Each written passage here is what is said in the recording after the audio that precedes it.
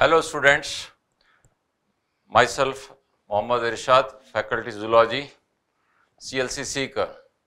I welcome you all in the session of solution of Biochem DTS number 6.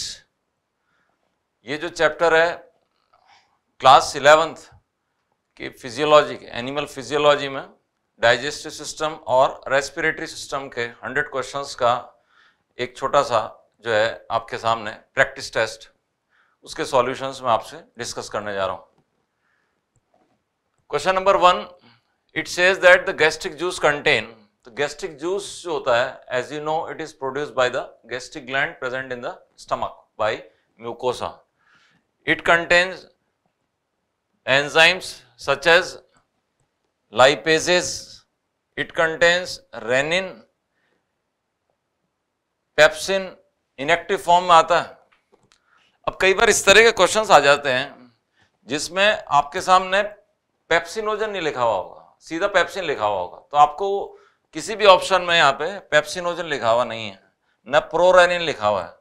अपने पास में अगर ये फुल सॉल्यूशन अपर करें तो it should be pepsinogen it should be gastric lipase and it should be prorenin.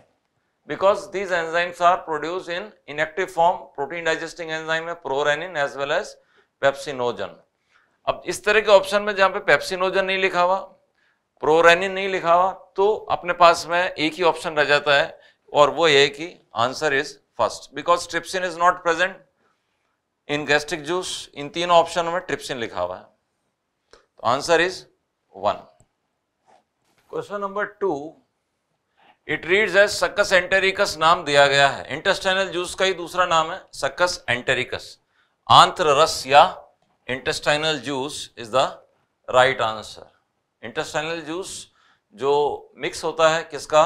Brunner's gland के secretions और crypts of liver Kohn का। It is called as intestinal juice इसी का दूसरा नाम है succus entericus answer is one next is matching the column अब इसके अंदर जो मैचिंग है, वो कुछ इस तरह से है कि bilirubin and biliverdin these are the pigments which are produce in the liver by degradation of haemoglobin तो बाइल पिगमेंट्स हैं हाइड्रोलाइसिस ऑफ़ स्टार्च ये होता है एमाइलेज की हेल्प से fats are digested with the help of lipases and maxillary glands ये क्या है? एक तरह की सलाइवरी ग्लैंड्स हैं। अब आप इसको मैच कर लीजिए।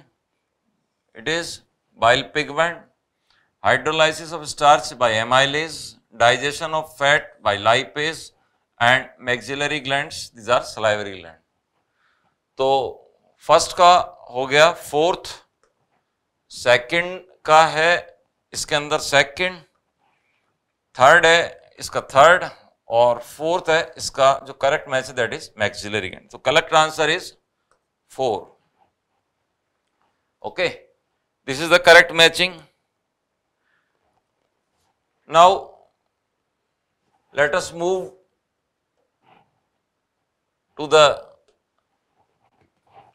question number 4 that fats are emulsified by तो फैट्स का इमल्सिफिकेशन कौन करता है? बाइल यहाँ पे लाइपेज का कोई रोल नहीं है पैंक्रियाटिक जूस का कोई रोल नहीं है। फैट्स का इमल्सिफिकेशन जिसके अंदर फैट की लार्ज फैट ड्रॉपलेट्स को, छोटी फैट ड्रॉपलेट्स में कन्वर्ट किया जाता है, इस प्रोसेस को अपन नाम देते हैं। इमल्सिफिकेशन हिंदी में इसको कहते हैं पायसीकरण। ये काम कौन करता है? बाइल सॉल्ट्स कौन से वाले सॉल्ट ऑर्गेनिक सॉल्ट्स जो कि वसा की फैट की बड़ी ड्रॉपलेट को छोटी ड्रॉपलेट में कन्वर्ट कर देते हैं। तो answer is bile salts not by pigments तो answer is second okay The next question is the correct sequence of layers of the wall of alimentary canal from outside to inside. Alimentary canal के सबसे बाहर। खास तौर से अपन अगर बात करें, स्टमक से लेके। स्टमक के बाद में जो लार्ज इंटेस्टाइन है, अगर वहाँ तक की अपन बात करें तो outermost layer is serosa it is followed by muscularis layer longitudinal and circular muscles followed by submucosa and last में आ जाती है म्यूकोसा तो अपने को ये ऑप्शन सेलेक्ट करना है। आउटर मोस्ट है सीरोसा फिर आ जाती है मस्कुलरिस फिर आती है सब म्यूकोसा और लास्ट में सबसे अंदर होती है म्यूकोसा करेक्ट आंसर हो गया यहाँ पे four. Number six, what would happen if HCl were not secreted in the stomach अगर स्टमक में HCl का प्रोडक्शन नहीं होगा तो क्या होगा? पेप्सिनोजन का कन्वर्जन पेप्सिन में नहीं होगा। पेप्सिनोजन अगर पेप्सिन में कन्वर्ट नहीं हुआ तो प्रोटीन का डाइजेशन नहीं होगा। अब इसमें ऑप्शन पढ़े। Fats will not be digested fat के डाइजेशन से कोई रिलेशनशिप नहीं है एच का, बहुत ज़्यादा। Starch digestion would occur at faster rate ऐसा भी कुछ नहीं है। प्रोटीन्स का डाइजेशन अफेक्ट हो जाएगा because pepsinogen is converted into active pepsin with the help of an hydrochloric acid तो प्रोटीन का डाइजेशन जो पेप्सिन करता है, वो अफेक्ट हो जाएगा। Emulsification will occur in stomach वो भी पॉसिबल नहीं है। तो correct answer is three question number seven ये रेस्पिरेटरी सिस्टम का क्वेश्चन है। It reads as what will be the PO2 partial pressure of oxygen and PCO2 in the atmospheric air as compared to those in the alveolar air तो इसके अंदर PO2 जो होती है atmospheric air की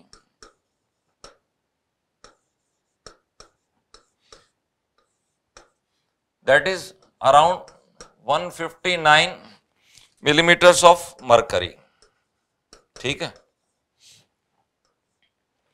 और एल्वियोलर एयर की होती है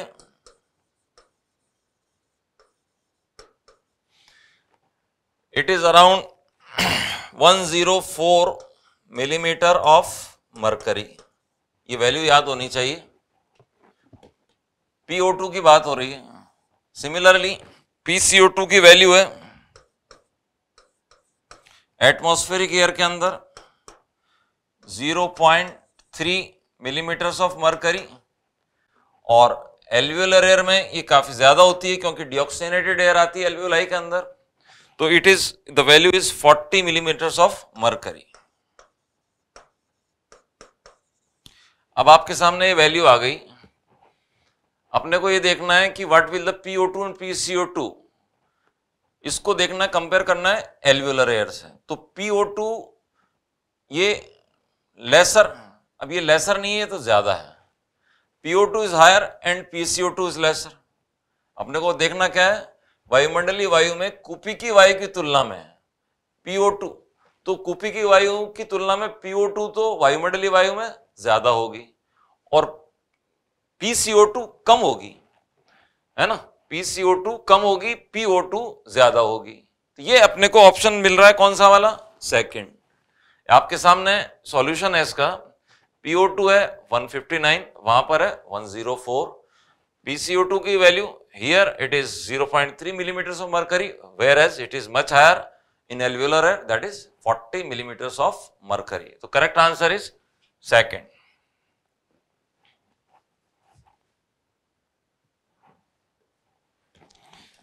next is respiratory rhythm is controlled by ये ब्रीदिंग का रेगुलेशन है जो कि ब्रेन का जो हैंड ब्रेन वाला पार्ट है मेडुला ऑब्लोंगेटा उसके थ्रू होता है correct answer is medulla oblongata which is a part of hind brain that controls the rate of respiration answer is medulla oblongata second answer is the right answer next question glucose के ऑक्सीकरण की प्रक्रिया जिसमें carbon dioxide water और energy बनते हैं तो ये सेल के अंदर होता है when the glucose is entered in the cell with the help of insulin तो ग्लाइकोलाइसिस होगा and it is followed by Krebs cycle that results in production of energy. तो ये प्रोसेस कहलाता है cellular respiration not respiration it is called as cellular respiration cell के अंदर oxygen की presence में ये काम हो रहा है सेल्यूलर रेस्पिरेशन एनर्जी प्रोड्यूस होती है इससे. Answer is three question number ten मगरमच्छ सर्प जब जल में रहते हैं तो श्वसन किससे करेंगे? अरे भाई कॉमन सेंस की बात है कि रेप्टाइल्स के अंदर respiratory organs are exclusively lungs there are no other respiratory organs reptiles के अंदर, चाहे वो पानी में रहें, चाहे वो ज़मीन में रहें रेस्पिरेशन लंग्स से ही होता है, फेफड़ों से ही होता है। तो correct answer is lungs crocodile snakes when lives in water जब पानी में रहते हैं तो रेस्पिरेशन किससे करेंगे वो? लंग से ही करेंगे। और कोई दूसरा मेथड ही नहीं उनको। They can not respire by skin because skin तो ड्राई होती है उनकी। गिल्स उनके पास होते नहीं है। ट्रेकियल रेस्पिरेशन तो आप पढ़ते हैं इंसेक्ट्स के अंदर होता है। तो correct answer is fourth that is lungs okay question number eleven ये बड़ा सिंपल सा क्वेश्चन है कि एक फ्रॉग है, जब उसने एग लेइंग किया फर्टिलाइजेशन हुआ तो टेडपोल लार्वा का डेवलपमेंट होता। Tadpole respires with the help of gills तो ये गिल्स की हेल्प से रेस्पिरेशन करता है। इसके अंदर वेल डेवलप्ड लंग्स या जो है दूसरा मेथड रेस्पिरेशन का वो इतना डेवलप्ड नहीं होता। तो correct answer is gills tadpole respires by gill एक adult frog, after metamorphosis, it respires with the help of skin, with the help of lungs, and with the help of oral cavity. Here, correct answer is gills. Question number 11. इसमें अपने से पूछा गया कि अपने airway का जहाँ से एयर जाती है और आती है उसका कौन सा पार्ट एयर को बॉडी टेम्परेचर पर ले आता है ताकि वो गैसियस एक्सचेंज स्मूथली होता रहे तो यहाँ पे नॉस्टिल्स के अंदर तो एयर एंटर करती है इंटरनल लेयर्स एक छोटी सी ओपनिंग होती है फेरिंग्स के अंदर ये काम होता नहीं है तो नेजल चैम्बर एक ऐसा चैम्बर है जो कि it is lined with mucosa इसके अंदर खासतौर से म्यूकस का प्रोडक्शन होता है and the purpose of mucus is to trap the harmful particles for from entering into the lungs और दूसरा होता है, ये एयर को ह्यूमिडिफाई कर देता है, जिससे कि वो एयर जो है बॉडी टेम्परेचर पे भी आ जाती है और गैसियस एक्सचेंज कन्वीनियंट हो जाता है। तो correct answer is second question number thirteen Manav trachea स्तरित होता है। तो अब इसके अंदर तो आपको ये पता है कि जब ट्रेकिया है तो ट्रेकिया के थ्रू एयर अंदर भी जा रही है और उसी से जो एयर है, वो बाहर भी आ रही है। तो ट्रेकिया के सीलिया होते हैं और जो एपिथीलियम है which is present in the inner lining of trachea is pseudostratified ciliated columnar glandular epithelium. Pseudostratified ciliated columnar glandular epithelium. This is the epithelium which is present in the inner lining of trachea cilia beats upward cilia ऊपर की तरफ़ beat करते हैं ताकि dust particles या mucus जो है lungs के अंदर इकट्ठे नहीं हो।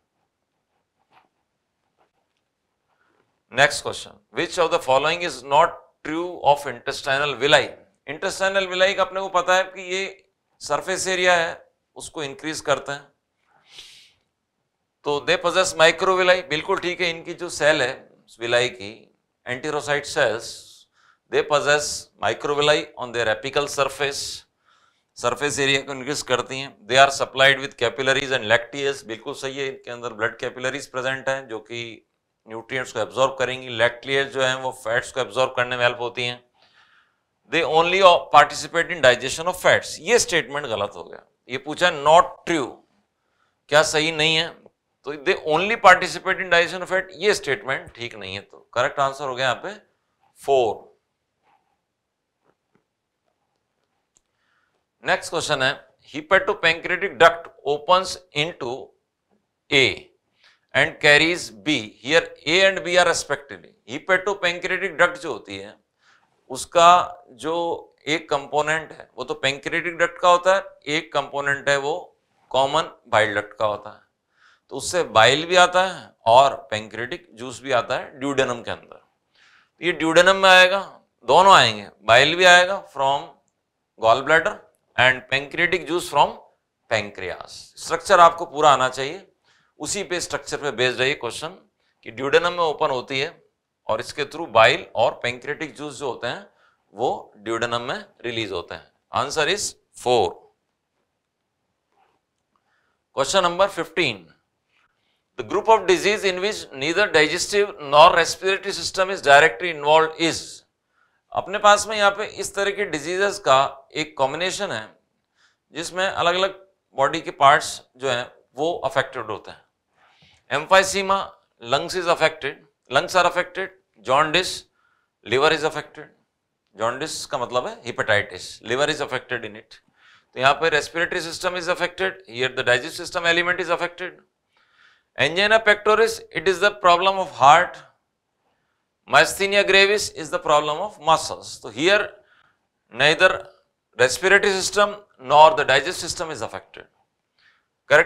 2. Bronchitis, इसके अंदर lungs kwashiorkor it is a protein deficiency disorder hepatitis again it is the inflammation of liver pneumonia it is the infection of lungs तो यहाँ पर लंग्स और लिवर यहाँ पे लंग्स और प्रोटीन डेफिशिएंसी तो correct answer is angina pectoris and myasthenia gravis ये ऐसे डिजीजेज हैं जिनके अंदर डाइजेस्टिव और रेस्पिरेटरी सिस्टम दोनों इसके अंदर अफेक्टेड नहीं है directly correct answer is two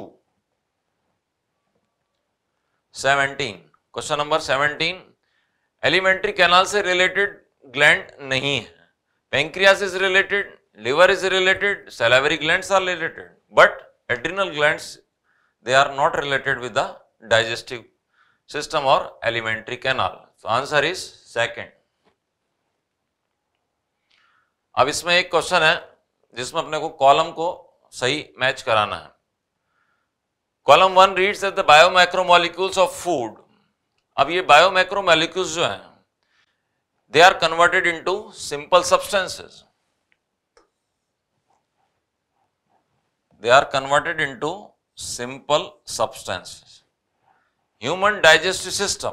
अब इसमें डाइजेस्ट सिस्टम के जो कंपोनेंट्स हैं, वो हैं alimentary canal and associated glands stomach ये जो होता है a J shaped bag like structure and thecodont teeth ऐसे दांत को कहते हैं जो कि they are mounted in gums ऐसे दांत जो गम्स में माउंटेड रहते हैं, जबड़े की अस्थियों में धसे हुए रहते हैं।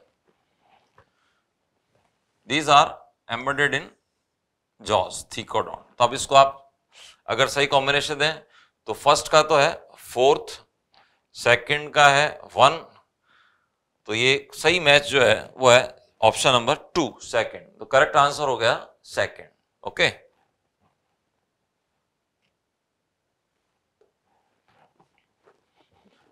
question number 19 the dental formula in human being in adulthood is adult के अंदर we know that there are two incisor one canine two premolar and three molars in the half part of the upper jaw and the same combination is present in the half part of the lower jaw. ये half part में लिखते हैं अपन।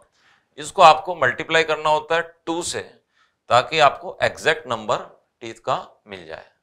तो two one two three and two one two three ये दोनों this is the right combination adulthood के अंदर dental formula it is two one two three and two one two three second is the right answer question number twenty Liver is the largest gland and is associated with various functions. Which of the following is not a function of liver? Liver के functions आपको आने चाहिए। उस पे से है ये question अब लिवर के फ़ंक्शंस क्या हैं? It produces bile very right पित्त का उत्पादन करता है। ब्लड क्लॉटिंग फैक्टर्स हैं, वो लिवर में बनते हैं।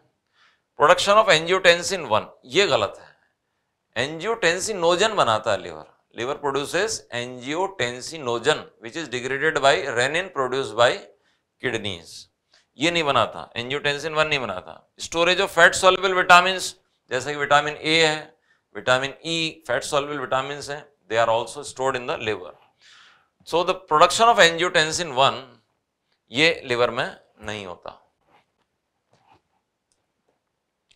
Answer is three question number twenty one mark the correct statement out of the following सही कथन का चयन करना है। Pepsinogen is an inactive active enzyme ये तो गलत है। ये तो इनएक्टिव है। Enterokinase is produce by duodenum mucosa ये ड्यूडेनम से प्रोड्यूस होता है। अपने को सही चीज़ सेलेक्ट करनी है। Hormone gastrin is produce by gastric glands along with gastric juice gastric juice के साथ नहीं आता गैस्ट्रिन गैस्ट्रिन एक हार्मोन है जो कि गैस्ट्रिक जूस के बनने को, उसके प्रोडक्शन को स्टिमुलेट करता है। कब करता है? When food arrives in stomach जब स्टमक में फ़ूड अवेलेबल होता है then only the gastric juice is produced by gastric glands fourth option is Brunner gland are present in mucosa of duodenum they are found in submucosa of duodenum not in mucosa ये mucosa में नहीं होती है, कहाँ होती हैं? सब mucosa में होती हैं। तो करेक्ट ऑप्शन क्या हो गया? Enterokinase it is produce by duodenum mucosa ये ड्यूडेनम की म्यूकोसा से प्रोड्यूस होता है और आपको सबको पता है, इसके थ्रू ट्रिप्सिनोजन जो होता है that is converted into active enzyme trypsin protein का डाइजेशन स्टार्ट करने के लिए you require enterokinase right answer is second 22 bile does not contain bile के अंदर सॉल्ट्स होते हैं bile salts sodium bicarbonate potassium bicarbonate sodium chloride and all pigments होते हैं बिलीरुबिन बिलीवर्डिन डिग्रेड होके एलिमिनेट किए जाते हैं. कोलेस्ट्रॉल जो बॉडी के अंदर एक्सेस कोलेस्ट्रॉल है, वो भी बाइल के थ्रू बॉडी से एलिमिनेट हो जाता है. डाइजेस्टिव एंजाइम नहीं होते डाइजेस्टिव एंजाइम तो इंटेस्टाइनल जूस के अंदर ही होते हैं. बाइल आता है इंटेस्टाइन के अंदर. तो इंटेस्टाइनल जूस के अंदर digestive enzymes are present bile के अंदर कोई डाइजेस्टिव एंजाइम नहीं होता तो। Correct answer here is fourth 23 saliva is chemically saliva का जो पीएच होता है it is around 6.8 slightly acidic होती है। It is slightly acidic alkaline नहीं होती हाईली एसिडिक नहीं होती। हाईली से एसिडिक तो गैस्ट्रिक जूस होता है न्यूट्रल भी नहीं होती। करेक्ट आंसर इज़ सेकंड हल्की अम्लीय है twenty fourth which of the following secretion is responsible for making medium alkaline in duodenum duodenum में जब काइम पहुँचता है स्टमक से तो वो होता है एसिडिक अगर अपन चाहें कि वहाँ पे पेंक्रियास के एंजाइम फ़ंक्शन करें प्रॉपरली तो पहला काम अपने को क्या करना होगा? We have to make the medium alkaline and this function is done by two components one is the bile salts the inorganic salts produced by liver these inorganic salts includes sodium bicarbonate potassium bicarbonate similarly pancreatic juice also releases bicarbonate ions तो ये दोनों components duodenum में medium को alkaline बना देते हैं ताकि pancreas के एंजाइम प्रॉपरली वर्क कर सकें bile and the non enzymatic part of pancreatic juice enzymatic part में तो एंजाइम प्रेजेंट होंगे ना तो यहाँ पर एंजाइम अग्नाशय रस का एंजाइमेटिक भाग ये काम करता है। करेक्ट आंसर यहाँ पर हो गया third question number twenty five virus जनित हिपेटाइटिस का अन्य नाम क्या है? ये वायरल हिपेटाइटिस जो होता है, इसको अपन कॉमन नेम जो है दैट इज़ जॉन्डिस पीलिया कहते हैं। इसके अंदर पीलिया इसलिए कहते हैं क्योंकि इसके अंदर ब्लड में बिलीरुबिन का अमाउंट इंक्रीज हो जाता है एंड बिलीरुबिन का कलर होता है येलो उसकी वजह से स्किन और आईज और नेल्स वगैरह ये सब येलोइश टच हो जाता है इनका। That is why the disease is called as jaundice Hindi में इसको कहते हैं अपन पीलिया वायरल हिपेटाइटिस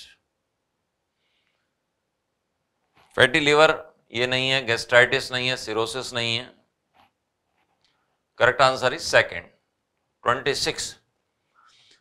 भरपेट भोजन ग्रहण करने के बाद भी बच्चों में प्रोटीन न्यूनता के कारण होने वाला रोग है। देखो, दो तरह की डिज़ीज़ हैं, प्रोटीन एनर्जी मालन्यूट्रिशन में। ये अपने को समझना होगा। एक बच्चा जिसको अपन क्या कहते हैं कि खाना ही नहीं मिल रहा।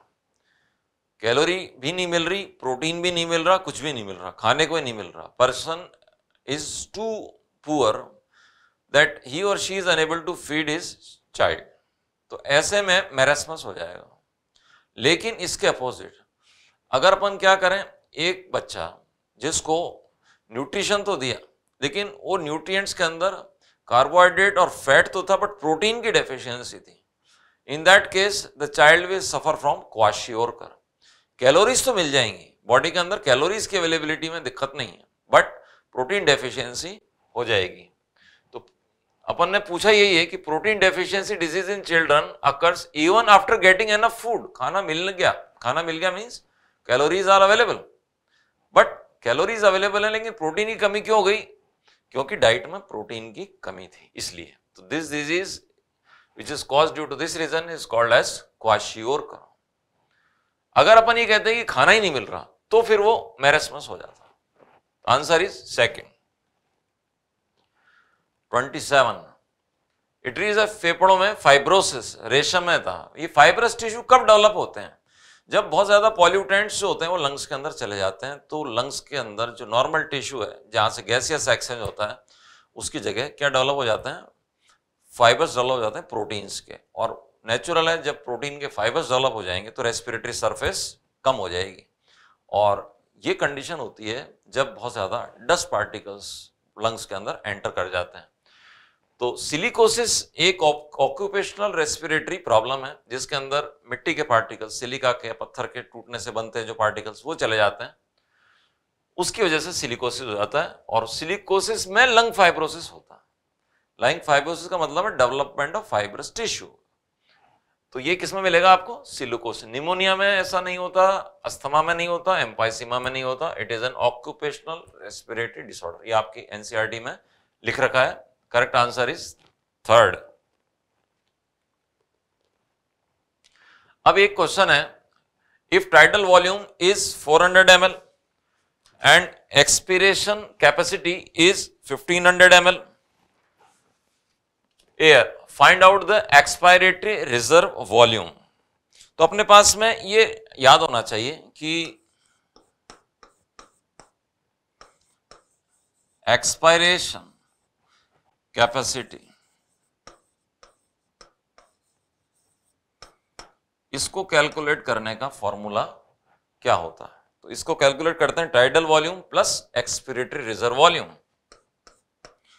tidal volume plus expiratory reserve volume अब अपने पास में वॉल्यूम कौन सा दिया हुआ है? ये आपके सामने लिख रखा है।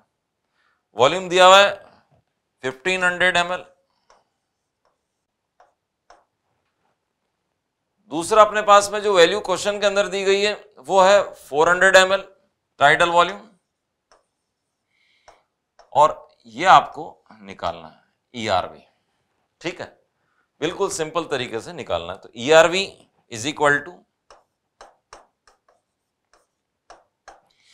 1500 minus 400 and that comes to 1100 ml of air correct answer क्या है यहाँ पे? 1100 hundred M of air question number 28 में correct answer is fourth okay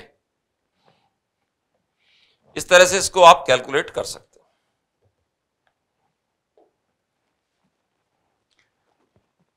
अब क्वेश्चन नंबर है 29 if 70 percent of carbon dioxide is transported by blood plasma अगर blood plasma में 70 परसेंट कार्बन डाइऑक्साइड का ट्रांसपोर्टेशन होता है तो उससे क्या हो जाएगा? तो आपके पास में एक ये सब्सटेंस है CO2 और ब्लड प्लाज्मा में प्रेजेंट होता है H2O उससे ही रिएक्ट कर सकती है। हालाँकि कार्बोनिक एनहाइड्रेस का एंजाइम का अमाउंट बहुत कम होता है, लेकिन फिर भी इससे क्या बनेगा? कार्बोनिक एसिड H2 CO3 इसकी वजह से ये है carbonic acid.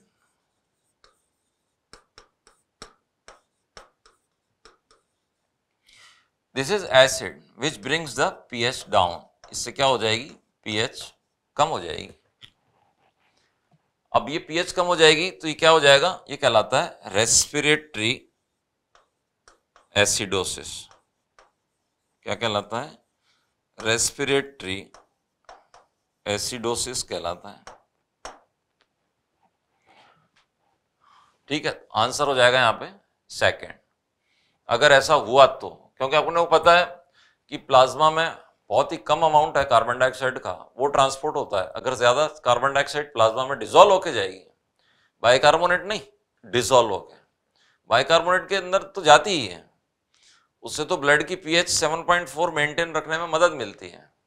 लेकिन अगर ये डिजोल्व होकर जाएगी तो ये रिएक्शन हो जाएगा। कार्बोनिक एनहाइड्रेस माना कि कम है, लेकिन ये रिएक्शन हो जाएगा और एसिडोसिस होने के चांसेस रहते हैं। इसलिए maximum amount of carbon dioxide it is transported in plasma in the form of bicarbonate ion carbon dioxide का मैक्सिमम अमाउंट किस फॉर्म में ट्रांसपोर्ट होता है? बाइकार्बोनेट आयन के फॉर्म में ट्रांसपोर्ट होता है लंग्स तक।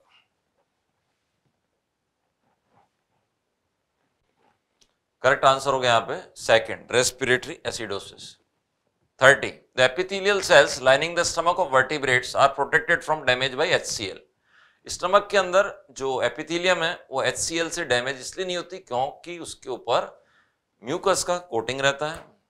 उसकी जो सेल्स हैं, वो आपस में टाइट जंक्शन से जुड़ी रहती हैं और वो सेल्स रेगुलरली रिप्लेस होती जाती हैं। ठीक है?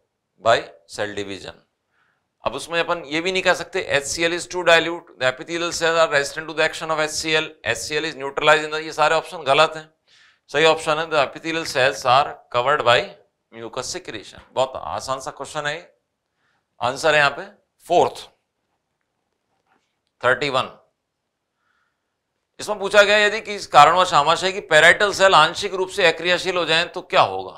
If the parietal cells of the gut epithelium becomes partially non functional what is likely to happen अब अपने को ये पता होना चाहिए पेराइटल सेल्स क्या काम कर रही हैं? ठीक है? अब एक ऑप्शन है trypsin and lipase will not work efficiently ये तो स्टमक में होता ही नहीं है ट्रिप्सिन तो। दूसरा है the pH of stomach will fall abruptly third है lipase will be more effective lipase कैसे इफ़ेक्टिव हो जाएगा? बिल्कुल गलत है स्टेटमेंट फोर्थ है proteins will not be digested by pepsin तो पेराइटल सेल्स जो होती हैं, ये सेल एच प्रोड्यूस कर रही हैं। इन्हीं का दूसरा नाम है ऑक्जेंटिक सेल्स और ये एच इनेक्टिव पेप्सिनोजन को पेप्सिन में कन्वर्ट करता है और ये पेप्सिन प्रोटीन डाइजेशन के लिए चाहिए होता है। तो proteins will not be digested by pepsin क्योंकि पेप्सिन ही नहीं हो पाएगा। पेराइटल सेल क्या बना रही है? हाइड्रोक्लोरिक एसिड अगर उसको अपन पार्शियली नॉन फंक्शनल कर देंगे एक्रियाशील कर देंगे तो वो एचसीएल का प्रोडक्शन कम हो जाएगा। एचसीएल का प्रोडक्शन कम होने से क्या होगा? पेप्सिनोजन पेप्सिन में कन्वर्ट नहीं हो पाएगा। तो correct answer here is fourth चौथा। Which of the following is incorrect about pancreas pancreas से रिलेटेड कौन सा स्टेटमेंट इनकरेक्ट है? गलत है। यह एक पालिक संरचना बिल्कुल सही है। ये पेंक्रियास इस तरह का स्ट्रक्चर है। अगर मान लें, अगर अपन इसको कहें ड्यूडेनम ये पैंक्रियास लीफ लाइक स्ट्रक्चर इसमें एक छोटी सी लोब होती है। एक बड़ी लोब होती है। पालीयुक्त संरचना है लोब्यूलेटेड स्ट्रक्चर है। इट रेगुलेट्स कार्बोहाइड्रेट मेटाबॉलिज्म बिल्कुल सही है। इससे जो हार्मोन प्रोड्यूस हो रहे हैं insulin and glucagon that regulate the blood sugar levels number three carbohydrate splitting enzymes are release as pro enzymes नहीं, ये गलत हो कार्बोहाइड्रेट स्प्लिटिंग एंजाइम है यहाँ पे पेंक्रेटिक जूस के साथ जो आता है that is amylase it is not inactive it is active inactive form में जो एंजाइम्स आते हैं, वो कौन से हैं? वो आते हैं प्रोटीन डाइजेस्टिंग एंजाइम्स या प्रोटीएजेस ठीक है? ये गलत हो गया। कार्बोहाइड्रेट स्प्लिटिंग एंजाइम ये इनएक्टिव फॉर्म में नहीं आता। है acini are its exocrine part ये तो ठीक है। पेंक्रियाटिक एसिनाई जो इसका 99 परसेंट पार्ट बनाता है that is the exocrine part pancreatic juice pancreatic acini से ही बन के आता है। तो ये तो सही है। अपन ने पूछा, गलत। तो गलत स्टेटमेंट क्या है? Option number three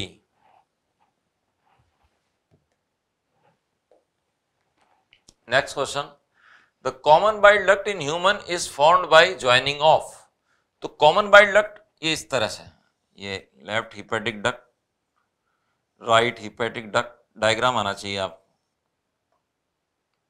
ये बन गई सिस्टिक डक्ट गॉल ब्लैडर हो गया। अब ये यहाँ की कॉमन बाइल डक्ट बन जाती इधर से। यहाँ से तो ये लिवर से आ रही है। These are hepatic ducts. This is gallbladder. This is cystic duct.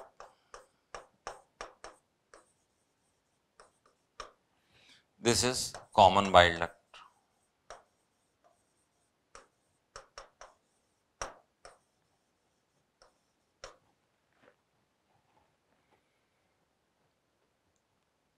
अब ये आपके सामने हिपैटिक डक्ट्स और सिस्टिक डक्ट इनसे मिलके बन गई कॉमन बाइल डक्ट इसी के बारे में पूछा है common bile duct this is common bile duct ये आपके सामने है। Answer is second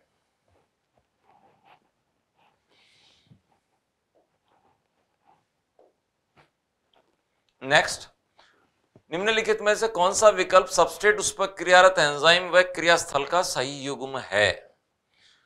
small intestine में प्रोटीन का डाइजेशन पेप्सिन नहीं करता।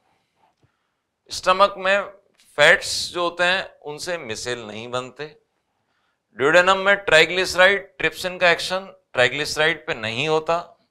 स्मॉल इंटेस्टाइन के अंदर स्टार्च जो होते हैं, उनको एमाइलेज माल्टोज में ब्रेक कर देता है।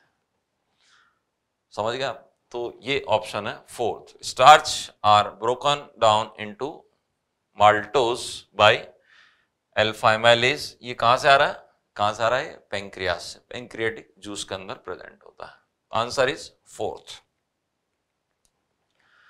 question number thirty five Lieberkühn की दरारें स्रावित करती हैं। तो क्रिप्स ऑफ़ लिवर कोन जो होते हैं, ये कहलाते हैं। इंटेस्टाइनल विलाई के बीच की जगह। ये तो हो गया villus this structure is known as crypts of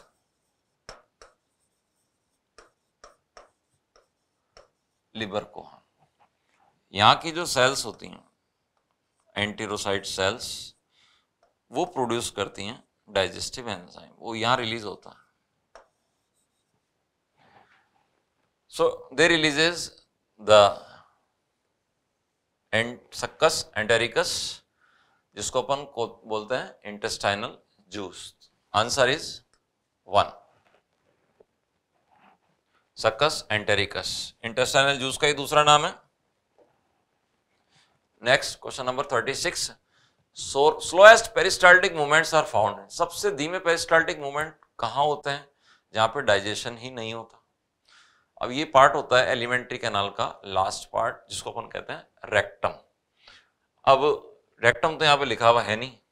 stomach में भी होता है ड्यूडेनम में भी होता है जेजुनम में भी होता है कॉलोन में भी होता है. लेकिन सबसे स्लो कहाँ होता है? वो कॉलोन में होता है. आप समझ गए होंगे, जो पूछने का पर्पज था कि सबसे धीमा, क्योंकि कॉलोन के अंदर फ़ूड का जो स्टे है अनडाइजेस्टेड फ़ूड का stay that is for the longest duration सबसे लंबे टाइम के लिए रहता है more than twelve fourteen hours तक रहता है। That depends upon the nature of food that we take अपन जो खाना खाते हैं, उसकी नेचर पर डिपेंड करता है फ़ूड कितनी देर एलिमेंट्री कैनाल में ठहरेगा। तो सबसे slow peristaltic movement they are observe in colon region answer is colon third next enzyme invertase sucrase का ही दूसरा नाम है invertase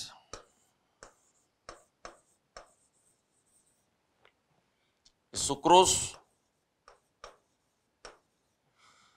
it is broken down into glucose and fructose. pH is around 7.8. Sucrose table sugar it is broken down इसको hydrolyse करता है, sucrase sucrase का ही दूसरा नाम है, invertase. Answer is second sucrose को ग्लूकोज और फ्रक्टोज में ये फ्रूट शुगर है, नेचर में एग्जिस्ट करती है फ्रक्टोज। फ्रूट्स के अंदर जो स्वीटनेस होती है, जो मिठास होती है, वो फ्रक्टोज की होती है, लेकिन फ्रक्टोज नेचर में किसके साथ जुड़ी रहती है? ग्लूकोज के साथ। और मिला देती है बना के sucrose. In normal condition a amino acid are absorb in अब अमीनो एसिड का एब्जॉर्प्शन जो होता है, वो लैक्टियल में नहीं होता सीकम में भी नहीं होता गैस्ट्रिक म्यूकोसा में भी नहीं होता। अमीनो एसिड्स नॉर्मल कंडीशन में एब्जॉर्ब होते हैं विलाई की। जो कैपिलरीज होती है ना, ये जैसे मान लीजिए एक वायरस है, इसके अंदर जो कैपिलरी नेटवर्क प्रेजेंट होता है उसके अंदर इनको ट्रांसपोर्ट किया जाता है अमीनो एसिड को। विलाई की कैपिलरीज के अंदर, ठीक है? अमीनो एसिड किससे बनते हैं? प्रोटीन के ब्रेकडाउन से बनता है। तो इनका एब्जॉर्प्शन कहाँ हो रहा है? लैक्टियल में नहीं हो रहा। इनका एब्जॉर्प्शन होता है ब्लड वेसल्स कैपिलरीज के नेटवर्क के अंदर। Answer is blood capillaries of villi one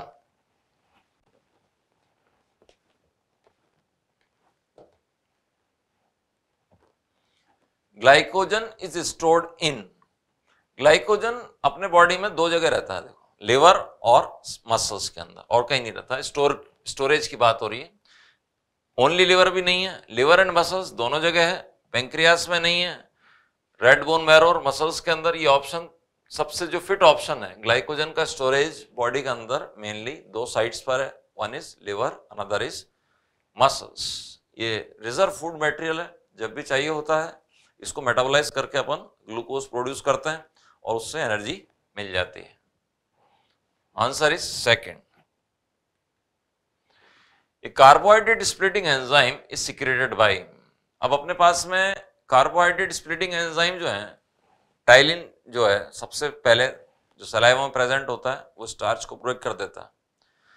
stomach के अंदर कार्बोहाइड्रेट स्प्लिटिंग एंजाइम का कोई बहुत बड़ा रोल है नहीं। मेनली ये पेंक्रेटिक जूस के अंदर प्रेजेंट है। एमाइलेज तो ये जो ऑप्शन अपने पास है, इसमें से सेलेक्ट करना है अपने को अब। देखना कार्बोहाइड्रेट स्प्लिटिंग एंजाइम लिवर से कोई डाइजेस्टिव एंजाइम नहीं आता। गैस्ट्रिक ग्लैंड जो होती हैं, उनसे गैस्ट्रिक एमाइलेज का थोड़ा सा अमाउंट आता है। कोलोन से कोई एंजाइम नहीं आता। Crypt of Lieberkühn. ये जो होती हैं ये लास्ट में जो रिलीज़ करती हैं एंजाइम जिनकी हेल्प से कार्बोहाइड्रेट को तोड़ा जाता है, जैसे इन्वर्टेज है माल्टेज है, ये कार्बोहाइड्रेट स्प्लिटिंग एंजाइम्स हैं। तो ये कहाँ से बनते हैं? ये बनते हैं इंटेस्टाइनल म्यूकोसा से crypts of Lieberkühn answer is third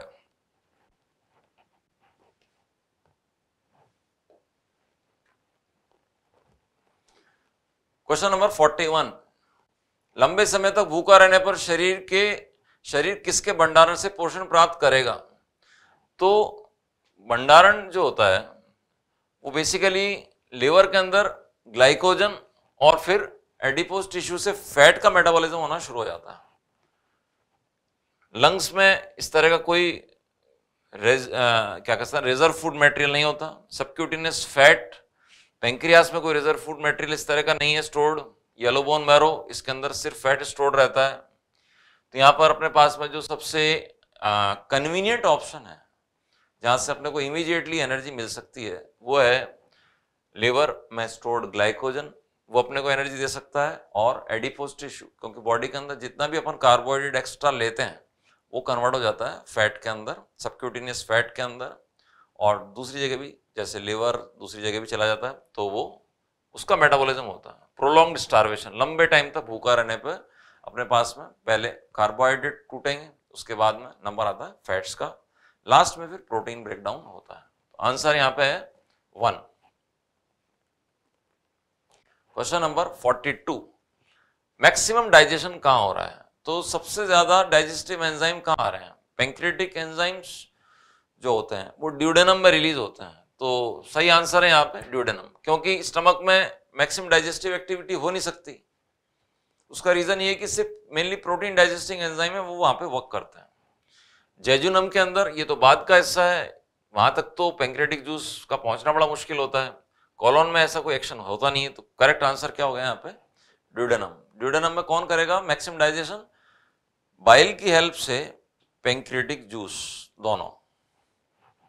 Correct answer is fourth. Question number 43 cholecystokinin क्या है? कॉलिसिस्टोकाइनिन एक हार्मोन है, जो कि क्या काम कर रहा है? गॉल ब्लैडर का रिदमिक कॉन्ट्रेक्शन करता है। कब करता है? जब एसिडिक काइम ड्यूडेनम में अराइव होता है। ये क्या काम करेगा? ये गॉल ब्लैडर से जब बाइल रिलीज़ होगा तो उसके बाद में इमल्सिफिकेशन होगा। लाइपेज का एक्टिवेशन होगा, और उससे फिर डाइजेशन का प्रोसेस आगे बढ़ता है। So, it is a hormone which is produced in duodenum to trigger the release of bile. पित्त श्रावण प्रेरित करने हेतु ग्रहणी द्वारा उत्पन्न एक हार्मोन है करेक्ट आंसर है यहाँ पे फोर्थ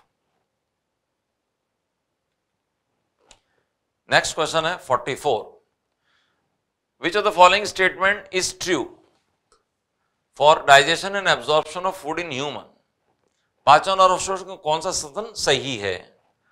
पहला ऑप्शन है chylomicrons are small lipoprotein particles that are transported from intestine into lymph vessels तो ये काइलोमाइक्रोन छोटे लाइपोप्रोटीन कण हैं जो कि आंत्र से लसिका वाहिनियों में परिवहित होते हैं। ये बात ठीक सी लग रही है। सेकंड ऑप्शन है about 60 percent of starch is hydrolyse by salivary amylase in our mouth ये 30 परसेंट तक तो ठीक था, लेकिन ये ठीक नहीं है। ये अमाउंट बहुत ज़्यादा है। Oxyntic cell in our stomach secrete the proenzyme pepsinogen इससे ऑक्जेंटिक सेल से दो सब्सटेंस रिलीज़ होते हैं। एक तो होता है एससीएल एक होता है intrinsic factor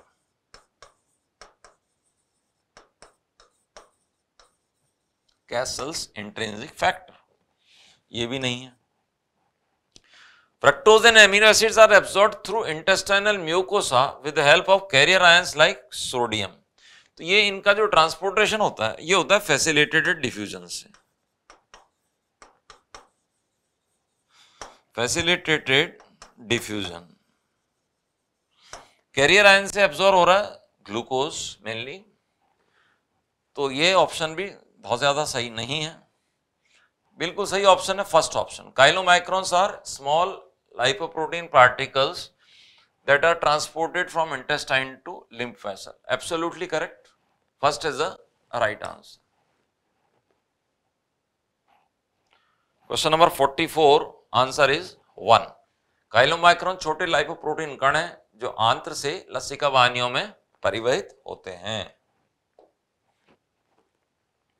45. Which of the following gastric cells indirectly help in erythropoiesis अब ये जो पेराइटल सेल्स हैं इन्हीं का नाम है oxantic cell. They produce is Castle's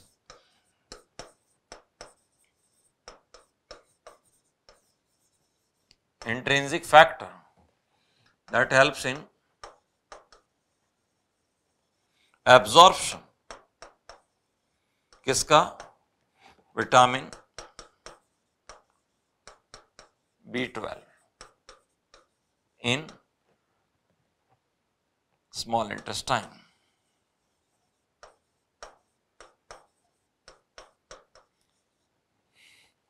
And this is required for cell division that too in RBC production.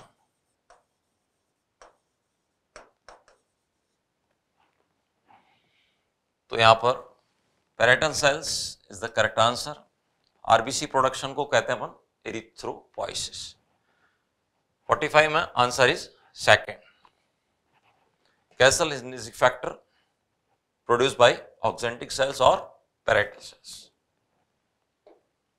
next ileum is ये small intestine का, इस यहाँ पे स्पेलिंग का इश्यू है थोड़ा सा।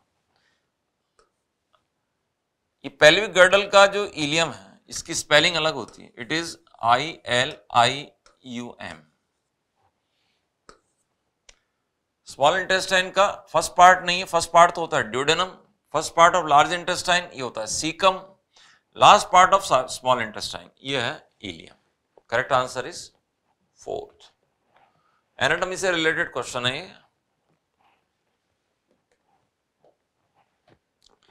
next is which of the following match is correct अपनी न्यूक्लियस प्रोटीन का डाइजेशन नहीं करते, ट्रिप्सिन स्टार्च का डाइजेशन नहीं करता एमाइलेज लैक्टोज का डाइजेशन नहीं करता, लेकिन इन्वर्टेज ये डाइजेस्ट कर देता है किसको? सुक्रोज को। करेक्ट आंसर क्या हो गया?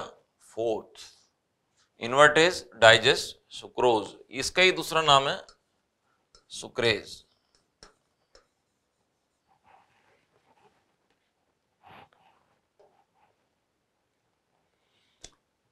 question number 48 trypsin digest protein in अब ट्रिप्सिन का एक्शन कहाँ हो रहा है? ड्यूडेनम में। एल्कलाइन मीडियम में।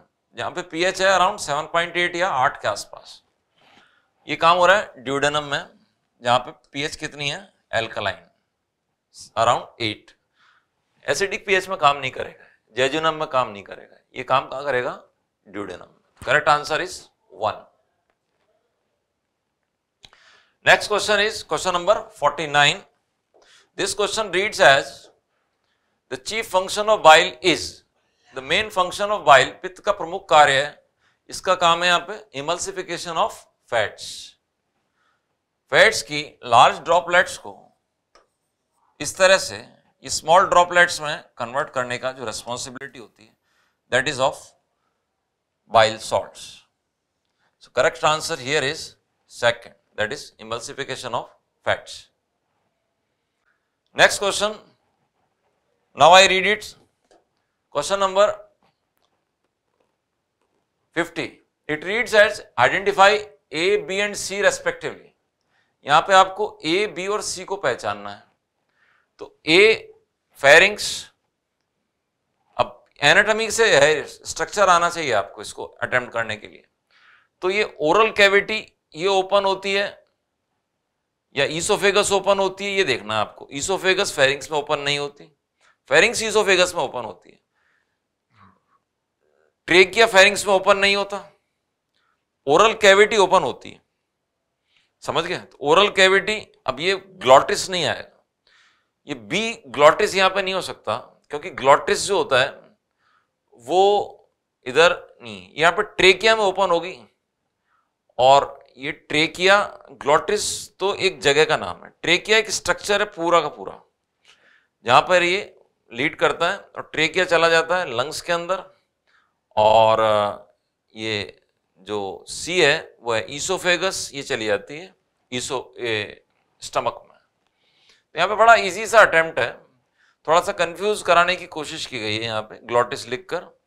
बाकी एब्सोल्युटली जो करेक्ट ऑप्शन है pharynx that leads to trachea trachea leads to lungs and pharynx it also leads to oesophagus that goes to stomach correct answer is fourth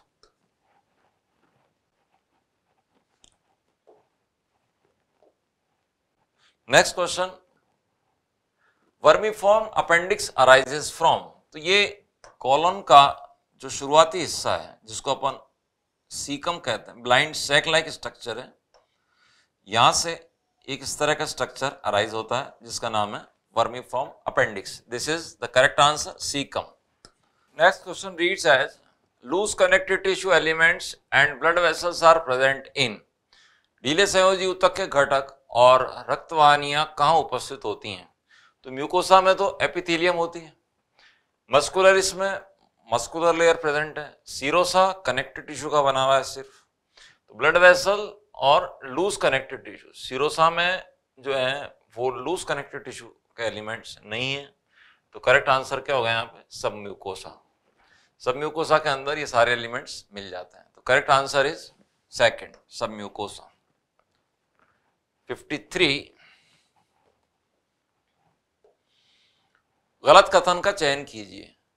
Lipase and nuclease are not present in pancreatic juice होते हैं तो इसके अंदर। Goblet cell secretes mucus बिल्कुल सही है। Brunner's gland are submucosal glands बिल्कुल सही है।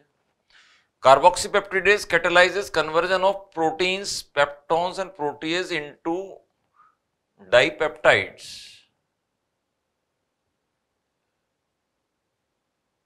अपने पास में जो बात गलत पूछी गई है। इनकरेक्ट तो lipase and nuclease are not present in pancreatic juice ये स्टेटमेंट तो ठीक नहीं है। तो क्वेश्चन नंबर 53 में जो आंसर है दैट इज़ वन तो प्रेजेंट होते हैं। बाकी तो सब चीज़ें ठीक लिखी हुई हैं।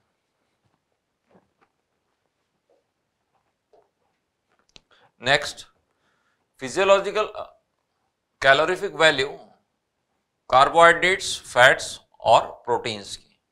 कार्बोहाइड्रेट की फोर, फैट की है नाइन और प्रोटीन की है four. Answer is one. Fifty four में the correct answer is one ये आपको लर्न करना पड़ेगा। Fifty five. What is common among amylase rennin and trypsin rennin amylase और ट्रिप्सिन में क्या सिमिलैरिटी है? These are produce in stomach तो ये ट्रिप्सिन स्टमक में नहीं होता। These work in acidic medium trypsin alkaline medium में वर्क करता है। एसिडिक में नहीं करता। इसी तरह से जो एमाइलेज है, इसका भी action by and large alkaline medium में होता है। These are proteolytic enzyme protein को ब्रेक करने वाले एंजाइम तो इसके अंदर से एमाइलेज तो स्टार्च को ब्रेक करता है, न कि प्रोटीन को। These are proteinaceous in nature enzyme तो इन जनरल प्रोटीन नेचर के होते हैं। ये बात सब पे अप्लाई हो जाती है इक्वली एंजाइम्स कैसे होते हैं? ज़्यादातर प्रोटीनेशियस अमीनो एसिड की चेन होती है वो। करेक्ट आंसर क्या है? Fourth they are proteinaceous in nature protein प्रवृत्ति के होते हैं। यही बात सिमिलर है, बाकी तो सारी चार्जेस तीनों पे लागू नहीं होती।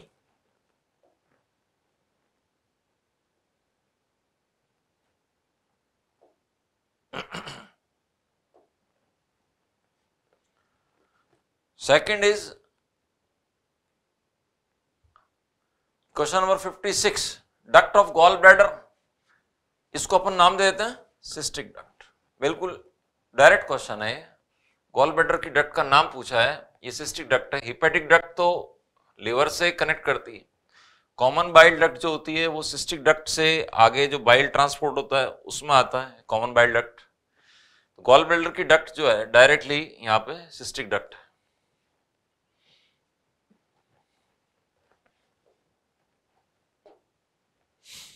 Next, in severe hepatic disease, अगर किसी इंसान का लिवर, अगर उसमें कोई डिज़ीज़ है तो बॉडी के अंदर जो टॉक्सिन्स हैं वो एक्यूमुलेट हो जाएँगे और सबसे खतरनाक टॉक्सिन होता है अमोनिया वो अगर लिवर ठीक रहता है तो कार्बन डाइऑक्साइड से मिलके अमोनिया को यूरिया में कन्वर्ट कर लिया जाता है। अगर लिवर काम नहीं करेगा तो क्या होगा? बॉडी में अमोनिया का अमाउंट इंक्रीज हो जाएगा और वो टॉक्सिक गैस है। यूरिक एसिड का अमाउंट इंक्रीज नहीं होगा यूरिया का अमाउंट इंक्रीज नहीं होगा, क्योंकि यूरिया तो बन ही नहीं पाएगी लीवर काम नहीं करेगा तो। इन दैट केस अमोनिया का अमाउंट वो राइज हो जाएगा। Toxic gas ammonia toxic effects आ जाएँगे उसके।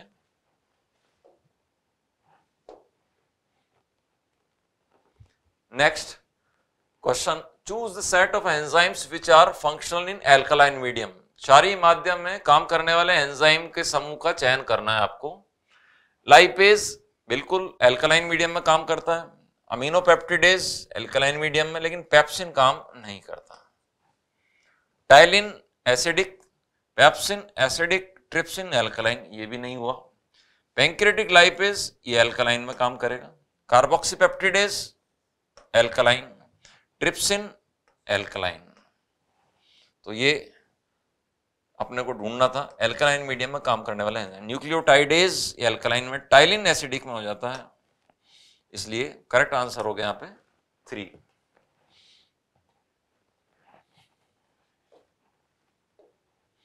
next question which of the following enzyme is not found in succus entericus succus entericus में कौन सा एंजाइम नहीं होता? इंटेस्टाइनल जूस के अंदर एमाइलेज नहीं होता। डाइपेप्टिडेज होते हैं माल्टेज होता है लाइपेज होता है। Amylase it is found in pancreatic juice it is not found in succus entericus और intestinal juice next question correct sequence of different sphincters valves of alimentary canal is तो अपने को ये देखना है कि सबसे पहले जो स्टमक है, उसका ईसोफिगस से जो जंक्शन होता है, वहाँ पे स्फिंक्टर प्रेजेंट है that is known as cardiac sphincter और gastro oesophageal sphincter first sphincter कौन सा हो गया? कार्डियक स्फिंक्टर यहाँ पे भी लिख रखा है, यहाँ पे भी लिख रखा है। फिर है दूसरा पाइलोरिक स्फिंक्टर जो कि स्टमक का पाइलोरस पार्ट उसको ड्यूडेनम से जोड़ता है। ये हो गया सेकंड फिर है इलियोसिकल वाल, जो इलियम और सीकम के बीच में प्रेजेंट होता है। ये सही सीक्वेंस है। आंसर हो गया सेकंड बीच में इलियोसिकल वाल्व नहीं आएगा। Correct answer is second okay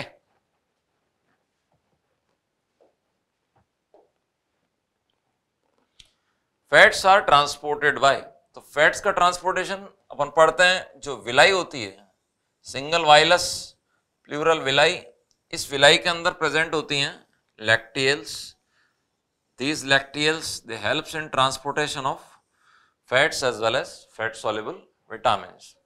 Here, the correct answer is lacteals.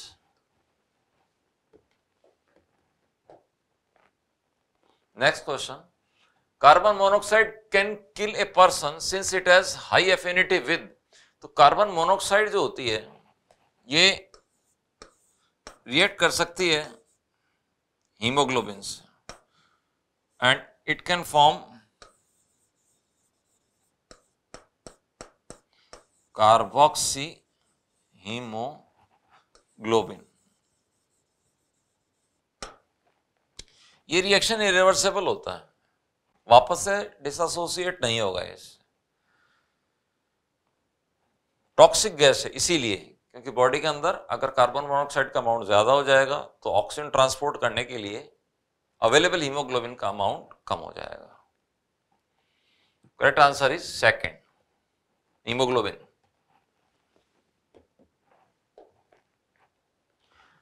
pneumotaxic centre is located in ये ब्रेन का जो हाइंड ब्रेन वाला पार्ट है मेडुला ऑब्लोंगेटा इसके अंदर इस जगह पर ये प्रेजेंट होता है। इसका काम होता है, सॉरी न्यूमोटैक्सिक सेंटर यहाँ तो रेस्पिरेटरी रिदम सेंटर है।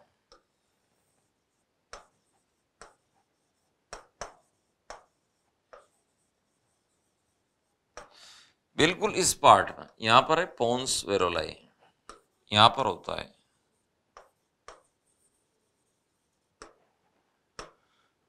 It is found in pons varolii 63 में answer is pons pneumotaxic centre ये ब्रीदिंग रेट को बढ़ा देता है। इंस्पिरेशन के ड्यूरेशन को कम कर देता है। पोन्स से आने वाले सिग्नल्स क्या करेंगे? ब्रीदिंग रेट को बढ़ा देंगे। इंस्पिरेशन के ड्यूरेशन को रिड्यूस कर देंगे। Next emphysema is a condition resulting from emphysema एक एल्वियोलर डिज़ीज़ है। एम्फाइसीमा के अंदर जो स्मोक है, चाहे वो कार्बन एमिशन से निकला हुआ स्मोक हो, चाहे टोबैको स्मोक हो, उससे एल्वियोलाई डैमेज हो जाती हैं। तो उससे क्या होगा कि गैसियस एक्सचेंज की जो सरफेस है, वो रिड्यूस हो जाएगी। ज़्यादातर ये एम्फाइसीमा की कंडीशन देखी गई है, वो है स्मोकर्स के अंदर, जो सिगरेट स्मोकिंग करते हैं, उनके अंदर है। तो आंसर है यहाँ पे second cigarette smoking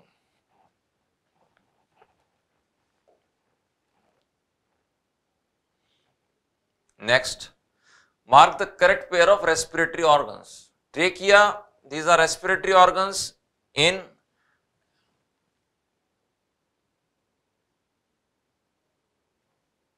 lungs देखो स्किन जो है ट्रेकिया एक्वेटिक ऑर्थोपोर्ट्स में नहीं है लंग्स एक्वेटिक स्नेक में मिल जाएँगे आपको। लंग्स में रेस्पिरेशन लंग्स ही स्नेक्स में रेस्पिरेशन लंग्स ही होता है। बुक गिल्स फिशेस के अंदर नहीं है। फिशेस के अंदर गिल्स है, बुक गिल्स नहीं है। ऑक्टोपस में गिल से होता है, स्किन से नहीं होता। तो यहाँ पर आंसर है lungs. Correct answer is second. 66 conduction part of the respiratory airway is from. तो कंडक्शन पार्ट जो होता है वो एक्सटर्नल नॉस्ट्रिल से शुरू होके और टर्मिनल ब्रोंकिल्स तक का जो हिस्सा होता है, अपन पढ़ते हैं उसमें रेस्पिरेटरी ट्री का जो ट्रेकिया से स्टार्ट होता है, वो कंडक्शन पार्ट है, पूरा का पूरा, जहाँ से गैसेस एक्सचेंज नहीं शुरू हो जाता, उससे पहले का पूरा का पूरा हिस्सा, वो क्या है कंडक्शन पार्ट है। नॉस्ट्रिल से स्टार्ट होता है और जहाँ पे जो कार्टिलेजिनस रिंग्स प्रेजेंट होती हैं, वो पूरा का पूरा क्या कहलाता है कंडक्शन पार्ट कहलाता है। और ये होती हैं टर्मिनल ब्रोंकियोज तो आंसर यहाँ पर होगा एक्सटर्नल नॉस्ट्रिल से लेके टर्मिनल ब्रोंकियोज तक का। नेक्स्ट क्वेश्चन है which of the right lung lobe is in contact with diaphragm अब जैसे लंग्स हैं, ये देखना।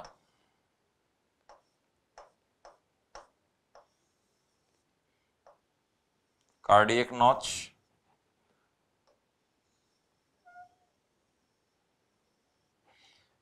this is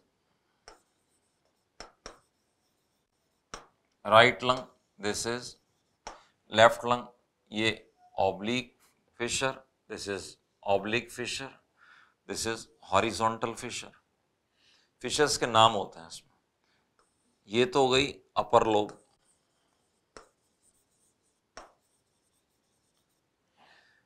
ये हो गई जो है मिडिल लोब ये हो गई लोअर लोब इस तरह से ये दोनों लोब ये डायाफ्राम के कॉन्टेक्स्ट में होती हैं। ये तो कौन सी लोब हो गई?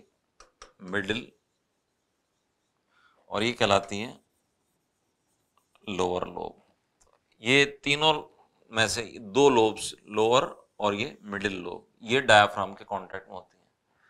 मिडिल एंड इंफीरियर या लोअर लोब अपर लोब नहीं होती। Second answer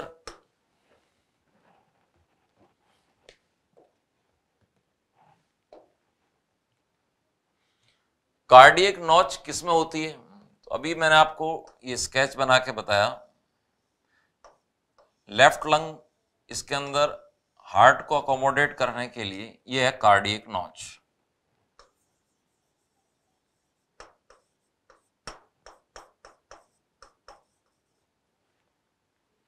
It is found in left lung. Answer is 1.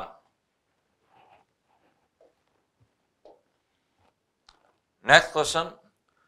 For keeping blood pH at 7.4, blood की pH को 7.4 बनाए रखने के लिए क्या चाहिए तो ब्लड में जो CO2 का ट्रांसपोर्टेशन होता है वो मेनली कैसे होता है बाइकार्बोनेट आयंस के फॉर्म में होता है और वो दो पर्पज सॉल्व करता है बाइकार्बोनेट आयन पहला CO2 का ट्रांसपोर्टेशन वो तो हो ही रहा है। दूसरा, ये ब्लड की पीएच को 7.4 मेंटेन करने में हेल्प करता है। बफर की तरह से काम करते हैं। ब्लड बफर्स कहलाते हैं बाइकार्बोनेट आयंस तो for keeping blood pH at 7.4 more carbon dioxide is transported as bicarbonate ions ये क्या काम करेंगे?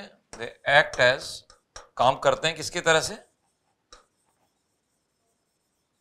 ब्लड बफर्स की तरह से काम करते हैं। आंसर है यहाँ पे second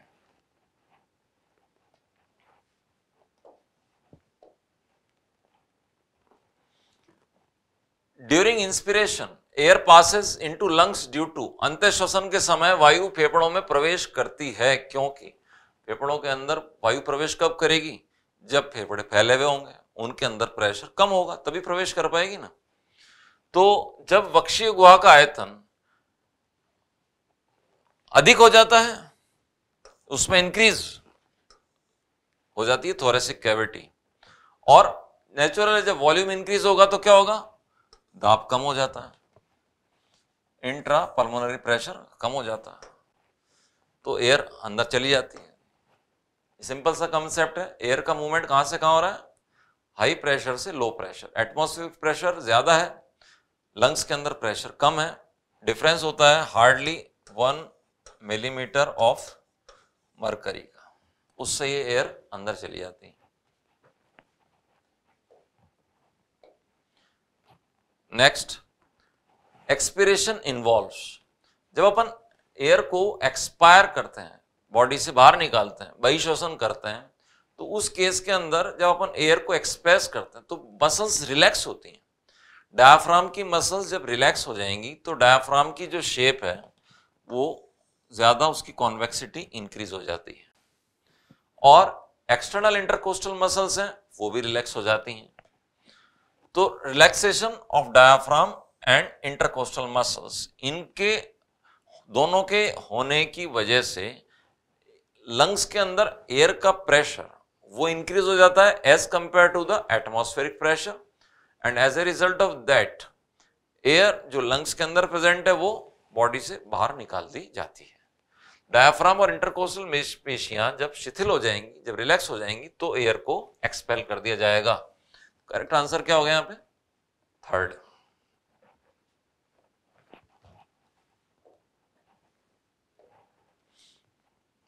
next F R C functional residual capacity क्रियात्मक अवशेषी आयतन।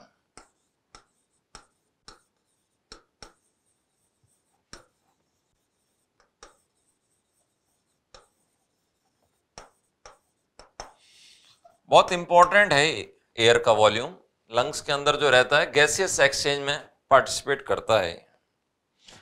तो ये वो एयर है जो कि नॉर्मली अपन नहीं निकालते हैं। एक्सपिरेटरी रिज़र्व वॉल्यूम जो फोर्सफुली निकाल सकते हैं और रेजिडुअल वॉल्यूम उनका जोड़ है। ईआरवी e यानी कि एक्सपिरेटरी रिज़र्व वॉल्यूम एयर का वो वॉल्यूम जो कि फोर्सफुली निकाला पा जाता है नॉर्मली नहीं निकालते हैं। और रेजिडुअल वॉल्यूम रेजिडुअल वॉल्यूम का मतलब है वो वॉल्यूम जो लंग्स में चाहे आप कितना ही ज़ोर लगा के एयर को एक्सपेल कर दो तो भी रहेगा। वो कहलाता है रेजिडुअल वॉल्यूम काफ़ी इंपॉर्टेंट होता है। दोनों का टोटल होता है। F R C it is the sum total of expiratory reserve volume and residual volume. है ना? इंस्पिरेटरी रिज़र्व वॉल्यूम नहीं है, ये सब तो बहुत ज़्यादा वॉल्यूम हो जाएगा तो ये correct answer is one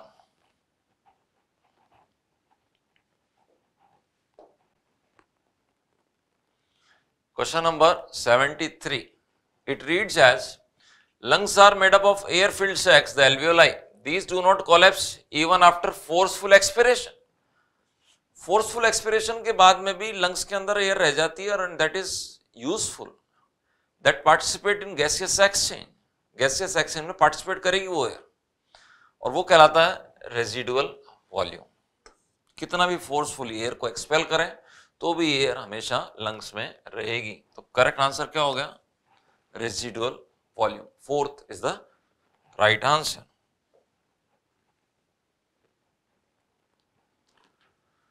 इसी तरह का एक और क्वेश्चन है लंग से रिलेटेड एनाटॉमी से रिलेटेड कि दो श्वसन के मध्य फेफड़े कोलेप्स नहीं होते। कोलेप्स का मतलब पिचकते नहीं है। तथा तो फेफड़ों में सदैव कुछ वायु उपस्थित रहती है। क्योंकि फेफड़ों के अंदर क्या होता है कि नेगेटिव प्रेशर रहता है। किसके कंपैरिजन में? एटमॉस्फेरिक प्रेशर के कंपैरिजन में नेगेटिव प्रेशर रहता है, कम रहता है।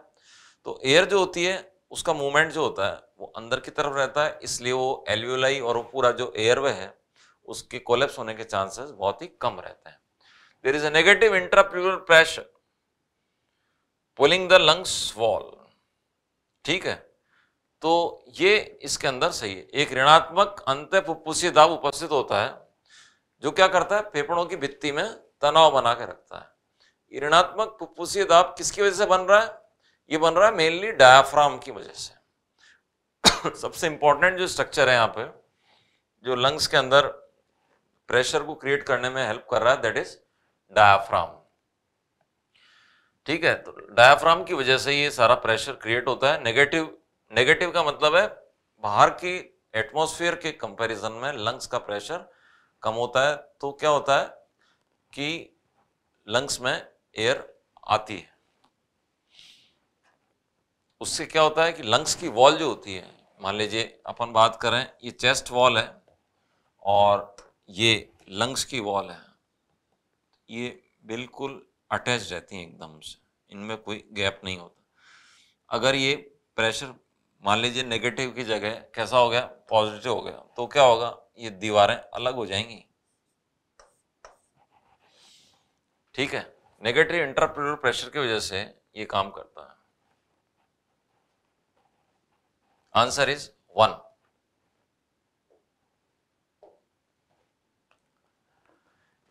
an asthmatic patient find it difficult to breathe because एक अस्थमा का पेशेंट जो होता है अब आपको याद रखना पड़ेगा इसमें अस्थमा इज़ एयरवे डिसीज ये एक ऐसी बीमारी है जिसके अंदर जो एयरवे है, जो लंग्स के अंदर एयर जिससे जा रही है और जिससे आ रही है, वो एयरवे में ट्रैप हो जाती है. एयर ट्रैप का मतलब है, अंदर ही रह जाती है, वो एयर बाहर नहीं निकल पाती. तो जब वो बाहर नहीं निकल पाती तो क्या होता है? बॉडी की ऑक्सीजन रिक्वायरमेंट फुलफिल नहीं हो पाती। And that result in difficulty in breathing उससे सांस लेने में दिक्कत आती है। तो जो एयरवे है, जो अपन पढ़ते हैं, ये ट्रेकिया ब्रोंकाई लंग्स के अंदर जाके ये ब्रोंकियोल्स प्राइमरी सेकेंडरी टर्शरी ये एयर यहीं पे ट्रैप होकर रह जाती है। इसकी वजह क्या है कि इनकी जो ल्यूमन है, वो ल्यूमन छोटा हो जाता है। यहाँ पे इन्फ्लोमेशन हो गया ना अस्थमा में अस्थमा के अंदर एयरवे नैरो हो जाता है। इसके नैरो होने की वजह से क्या होता है कि एयर के बाहर आने की चांसेस, या स्पीड, या कैपेसिटी वो कम हो जाती है। तो जब एयर बाहर ही नहीं आ पाएगी तो अंदर कैसे जाएगी? So a person find it difficult to breathe if he और she is suffering from asthma air is trapped inside the airway. Alveoli damage नहीं हो रही, डायाफ्राम अफेक्ट नहीं हो रहा, फाइब्रोसिस इसके अंदर बहुत ज़्यादा नहीं हो रहा।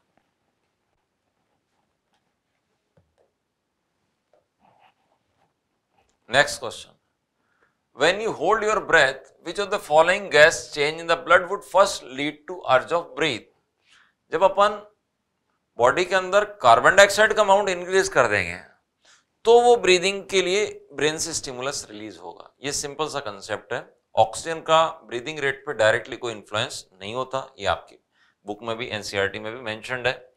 तो राइजिंग सीओ टू कंसंट्रेशन उससे क्या होगा? एक सिग्नल रिलीज़ होगा ब्रेन से। और वो सिग्नल ब्रीदिंग के लिए बॉडी को स्टिमुलेट करता है। लंग्स से ये काम हो रहा है finally next animal without specialize respiratory organ is जहाँ पे न तो ट्रेकिया है, न गिल्स न लंग्स है, सिर्फ़ बॉडी है और उसकी सरफेस है। ऐसा ऑर्गन ये एंड्स में तो ट्रेकिया से, चींटियाँ तो आर्थ्रोपोड्स हैं ट्रेकियल रेस्पिरेशन प्रॉन ये इसके अंदर गिल्स होते हैं आर्थ्रोपोड है। टेडपोल लार्वा फ्रॉक का होता है, इसके अंदर गिल्स रेस्पिरेशन होता है लीच एक एनालिड है। इसमें बॉडी की सरफेस से गैसियस एक्सचेंज हो रहा है अलग से कोई ऑर्गन नहीं है। स्पेशलाइज या विशिष्टीकृत अंग इसके अंदर विकसित नहीं है। तो answer is second question number 78 when PCO2 raises जब PCO2 का लेवल बढ़ जाता है, जब CO2 बढ़ेगी तो हीमोग्लोबिन से ऑक्सीजन डिसोसिएट हो जाएगी। Haemoglobin releases its oxygen load ताकि वो ऑक्सीजन टिश्यूज तक प्रॉपरली टाइम से जितनी चाहिए वो पहुँच सके। तो haemoglobin releases its oxygen load PCO2 के बढ़ने पर हीमोग्लोबिन ऑक्सीजन का बॉन्ड वीक हो जाएगा। Answer is second 79 Bohr's effect is अब ये आप एक ग्राफ बनाते हैं। इसमें इस तरह का एक कर्व बनाते हैं आप इसके अंदर। एक्स एक्सिस पे आप लिखते हैं PO2 ऑक्सीजन का पार्शियल प्रेशर जैसे जैसे आप बढ़ा जाएँगे, ये है percentage saturation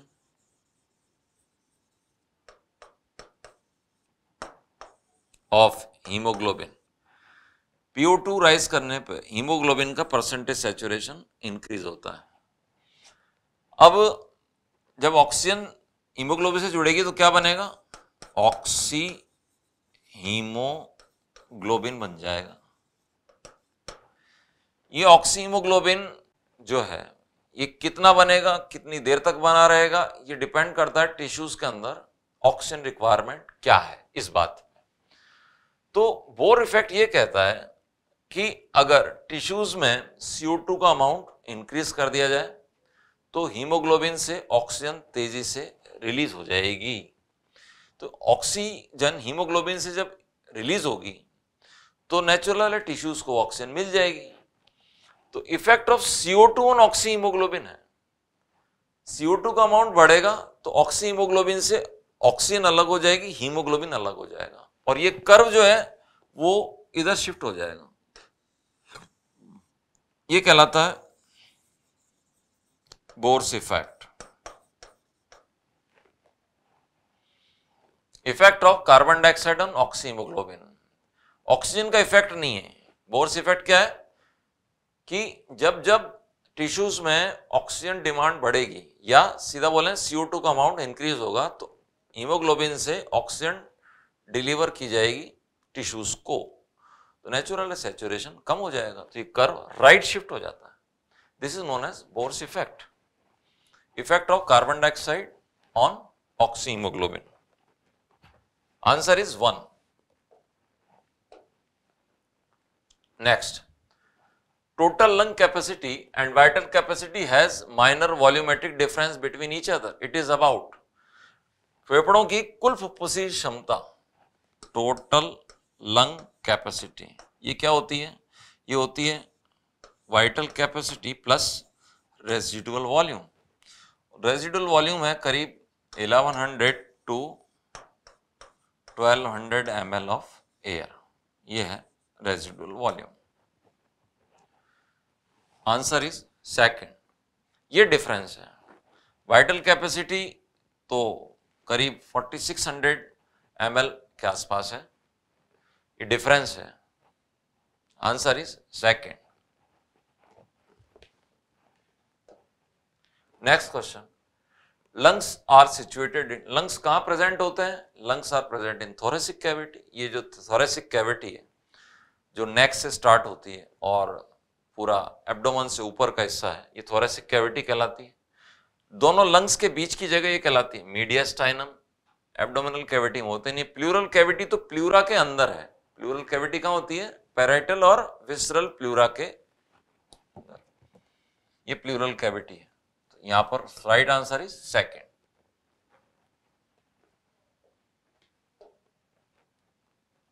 next in the air with cartilaginous rings are present till अब ये टर्शरी ब्रोंकाई तक नहीं है।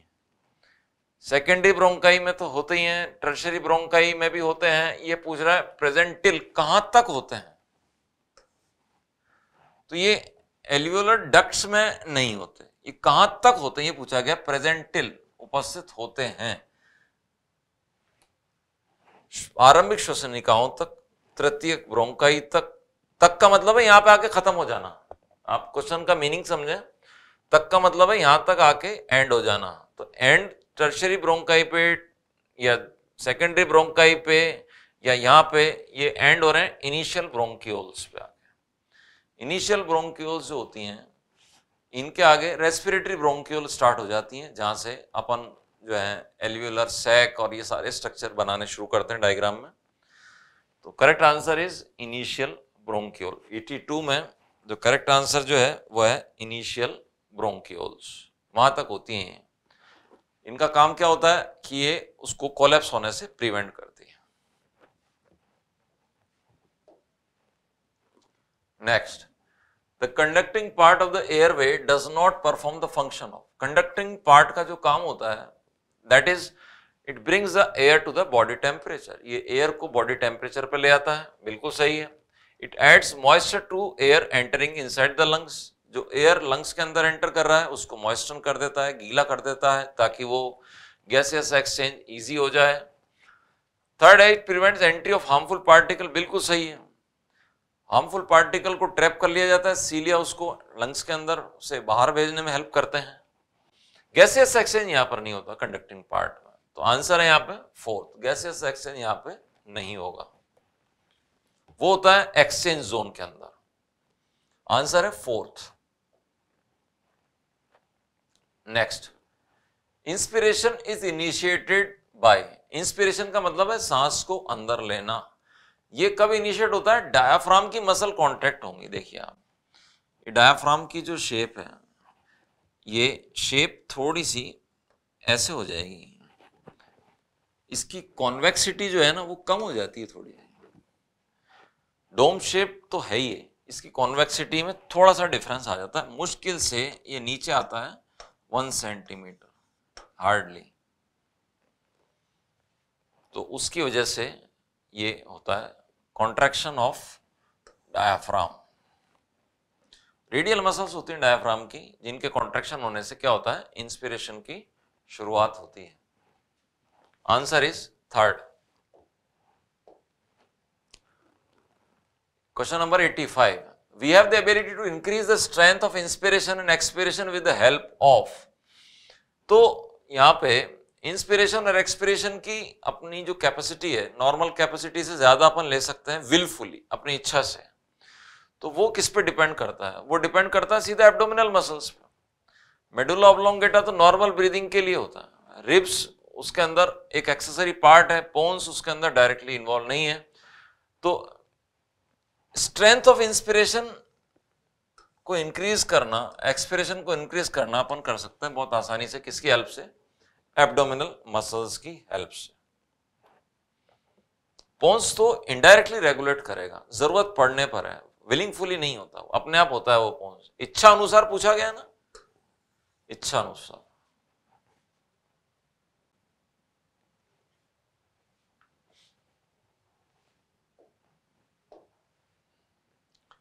Next total volume of air a person can expire after normal inspiration is normal inspiration के बाद में अपन फोर्सफुली एयर को अंदर ले लेते हैं। टाइडल वॉल्यूम तो हो ही जाएगा। और एक्स्ट्रा एयर और ले ली तो ये इंस्पिरेशन कैपेसिटी हो जाती है फिर ये। अगर अपन क्या करें? Total volume of air a person can expire, जो निकाल सकता है, नॉर्मल इंस्पिरेशन के बाद में। ये कहलाती है एक्सपिरेशन कैपेसिटी। ये डेफिनेशन है एक्सपिरेशन कैपेसिटी की। जब हम अंत्य शोषण के बाद बहिशोषण द्वारा वायु का कुल आयतन निकाल सकता है, वो क्या कहलाएगा? Expiration capacity. बहिशोषण क्षमता कहलाती है वो। ये डेफिनेशन है इसकी। ये याद रखनी पड़ेगी आपको। Next question vital capacity together with residual volume vital capacity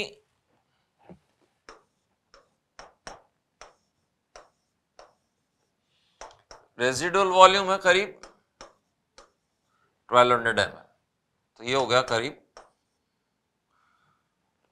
5000 से ऊपर 4000 5000 से ऊपर चला जाता है 5000 एमएल बल्कि ये और भी ज़्यादा जा सकता है। अब अप्रोक्सीमेट ढूंढना पड़ेगा आपको इसके अंदर। अप्रोक्सीमेटली है ये फाइव थाउज़ेंड। ये थ्री थाउज़ेंड नहीं है, फोर थाउज़ेंड नहीं है, टू थाउज़ेंड। इस तरह के ऑप्शंस अगर आपके पास आ जाते हैं तो आपको क्या करना पड़ता है? अप्रोक्सीमेशन करना पड़ता है। अगर आप टोटल कर लेंगे ना तो ये हो जाएगी फाइव थाउज़ेंड एट हंड्रेड। मान लीजिए अगर यहाँ पे सिक्स थाउज़ेंड कहीं पे लिखा होता, एक थोड़ी देर के लिए इमेजिन कर लें अगर सिक्स थाउज़ेंड लिखा होता तो सिक्स थाउज़ेंड आंसर हो जाता फिर इसका। लेकिन अब सिक्स थाउज़ेंड कहीं पे भी नहीं लिखा हुआ इसलिए ऑप्शन क्या हो गया? फाइव थाउज़ेंड ये मैक्सिमम है। ये कितनी है? मैक्सिमम है। तो अपने पास में जो नियरेस्ट वैल्यू है, वो क्या है? फाइव थाउज़ेंड तो आंसर हो गया इसके अंदर third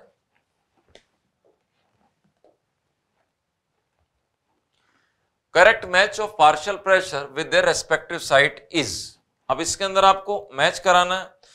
तो PCO2 in alveolar air 40 millimetres of mercury ये आपको लर्न करना पड़ेगा भाई। सीखना पड़ेगा इसको तो इसका कोई ऑप्शन नहीं है। PCO2 in deoxygenated blood it is around 45 millimetres of mercury बिल्कुल सही है। PO2 इन एल्व्यूलर एयर ये होती है करीब 104 millimetres of mercury and last option है PO2 इन डिऑक्सीनेटेड ब्लड ये again it is 40 millimetres of mercury इस तरह का ऑप्शन यहाँ पर एक ही है ये वाला। Second is the right answer ये वैल्यू आपको लर्न करनी पड़ेगी।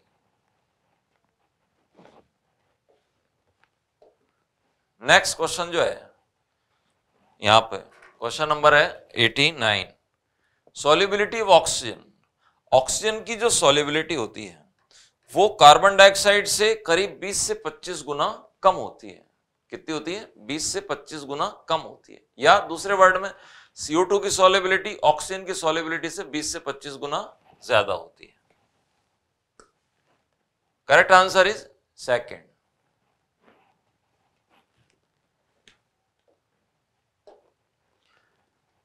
next है क्वेश्चन नंबर 90 क्वेश्चन नंबर 90 में जो पूछा गया है एपिथीलियम की एल्वियोलाई एपिथीलियम ऑफ़ एल्वियोलाई, वायु कूपिकाओं की उपकला, ये होती है सरल शल की उपकला स्क्वामस एपिथीलियम है, जो कि एक एक्सचेंज की सरफेस प्रोवाइड करती है, जहाँ से CO2 और ऑक्सीजन का एक्सचेंज किया जाता है स्क्वामस एपिथीलियम होती है। वायु कूपिकाओं की उपकला निर्मित होती है शल की उपकला कोशिकाओं से। Next breathing rate is not affected by breathing rate देखिए टेम्परेचर बढ़ने पर बढ़ जाएगी। पीसीओ टू इंक्रीज होने पर भी बढ़ जाएगी। पीएच कम होने पर भी बढ़ जाएगी। एसिड अगर ज़्यादा बन गया तो भी बढ़ जाएगी। लेकिन ऑक्सीजन का कोई डायरेक्ट इन्फ्लुएंस इस पर नहीं होता। तो breathing rate is not affected by partial pressure of oxygen oxygen का कोई डायरेक्ट इफ़ेक्ट नहीं होता। Correct answer here is one next है question number 92 each 100 ml of deoxygenated blood delivers what amount of carbon dioxide in alveoli? 100 ml विऑक्सीजन रक्त वायु कोशिकाओं में कितनी CO2 को स्थानांतरित करता है? तो ये भी वही है लर्न करने वाला पॉइंट है। इसके अंदर कोई बहुत ज़्यादा सीखने का नहीं है। Around 4 ml of oxygen it is delivered 100 ml blood करीब 4 ml CO2 को एक सर्किल के अंदर, एक साइकिल के अंदर वो लंग्स में डिलीवर कर देता है।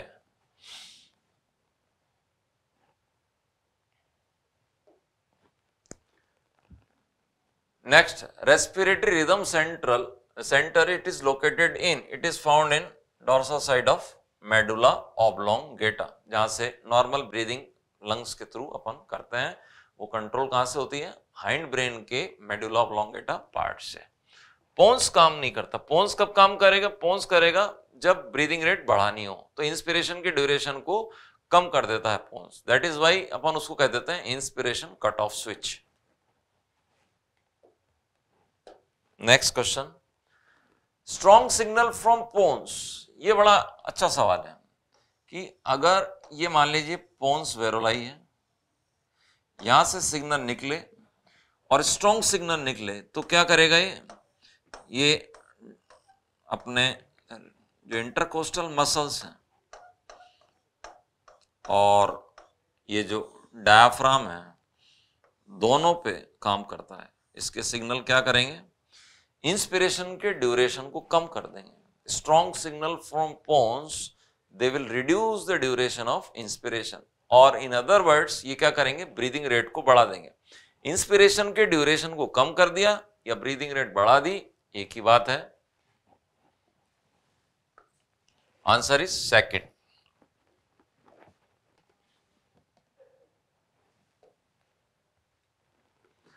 Chemoreceptors can detect change in blood pH and send signals to.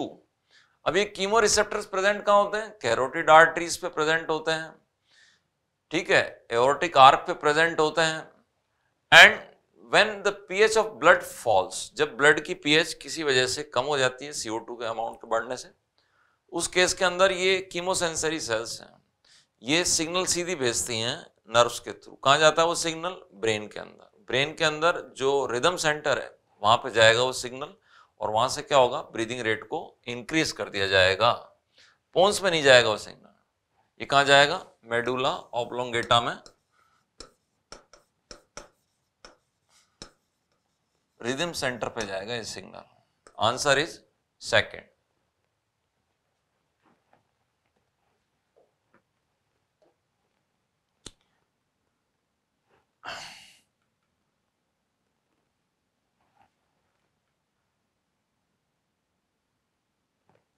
this is question number 96 carotid artery ये आर्टरी ऐसी आर्टरी है जो ब्रेन तक ब्लड ले जाती है। ये बहुत इंपॉर्टेंट है। ब्रेन तक ब्लड ले जाने वाली आर्टरी का नाम क्या है? दैट इज़ कैरोटिड आर्टरी आपने इस चैप्टर में पढ़ा कि कैरोटिड आर्टरी और एओर्टा पे कीमो रिसेप्टर सेल प्रेजेंट है तो अपने को ये पता होना चाहिए कैरोटिड आर्टरी ब्लड ले कहाँ जा रही है? ये ब्लड ले जाती है ब्रेन तक। Answer is third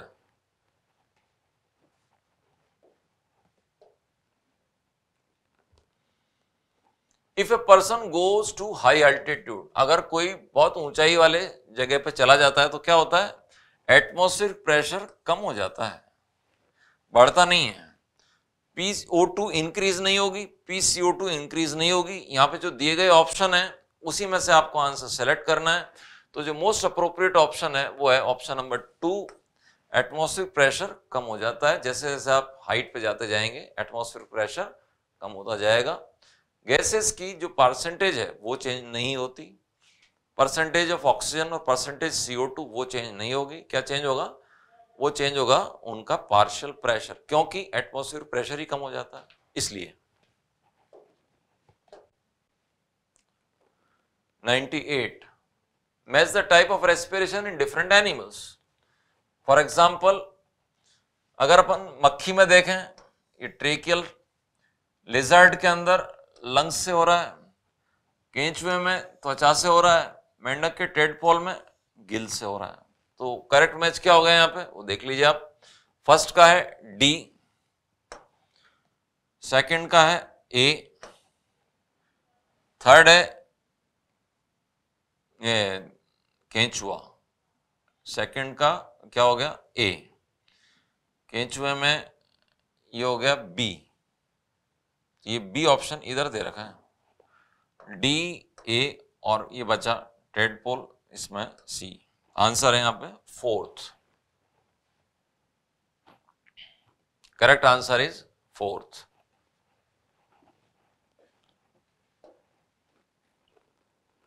question number 99 इसके अंदर पूछा गया है फॉल इन पीसीओ टू अगर कार्बन डाइऑक्साइड का पार्शियल प्रेशर कम हो जाए तो क्या होगा?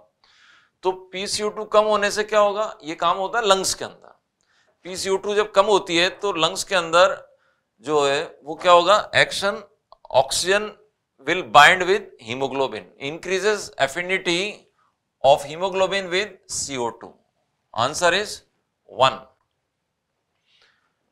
है ना? Increase affinity sorry increase affinity of haemoglobin with oxygen not carbon dioxide answer is two year haemoglobin की ऑक्सीजन से बंधुता में वृद्धि प्रेरित कर देगा। CO2 में कमी ऑक्सीजन से हीमोग्लोबिन का बॉन्डिंग इंक्रीज करा देती है। है ना? डिक्रीज नहीं होगी कार्बन मोनोक्साइड लिख रखा है। डिक्रीज नहीं होगी CO2 से इंक्रीज नहीं होगी, ये ऑक्सीजन से इंक्रीज होगी। अगर PO2 PCO2 कम होती है तो। Correct answer is second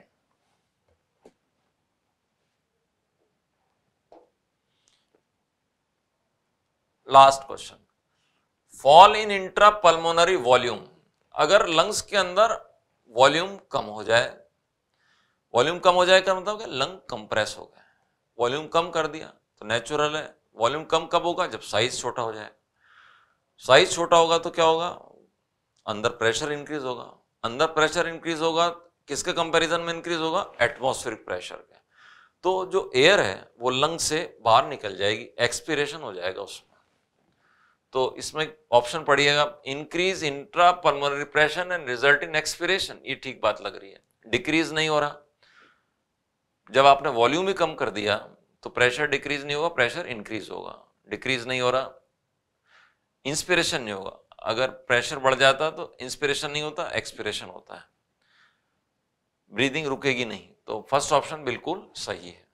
Increase in intrapulmonary pressure and result in expiration अंत दाब बढ़ जाएगा कंप्रेस होने से और उससे एयर बाहर निकल जाएगी जिससे एक्सपिरेशन आए so that is all in this session of biochem dts number 6 thank you very much. All the best. Hello everyone CLC के डिजिटल प्लेटफॉर्म पे आप सभी का स्वागत है।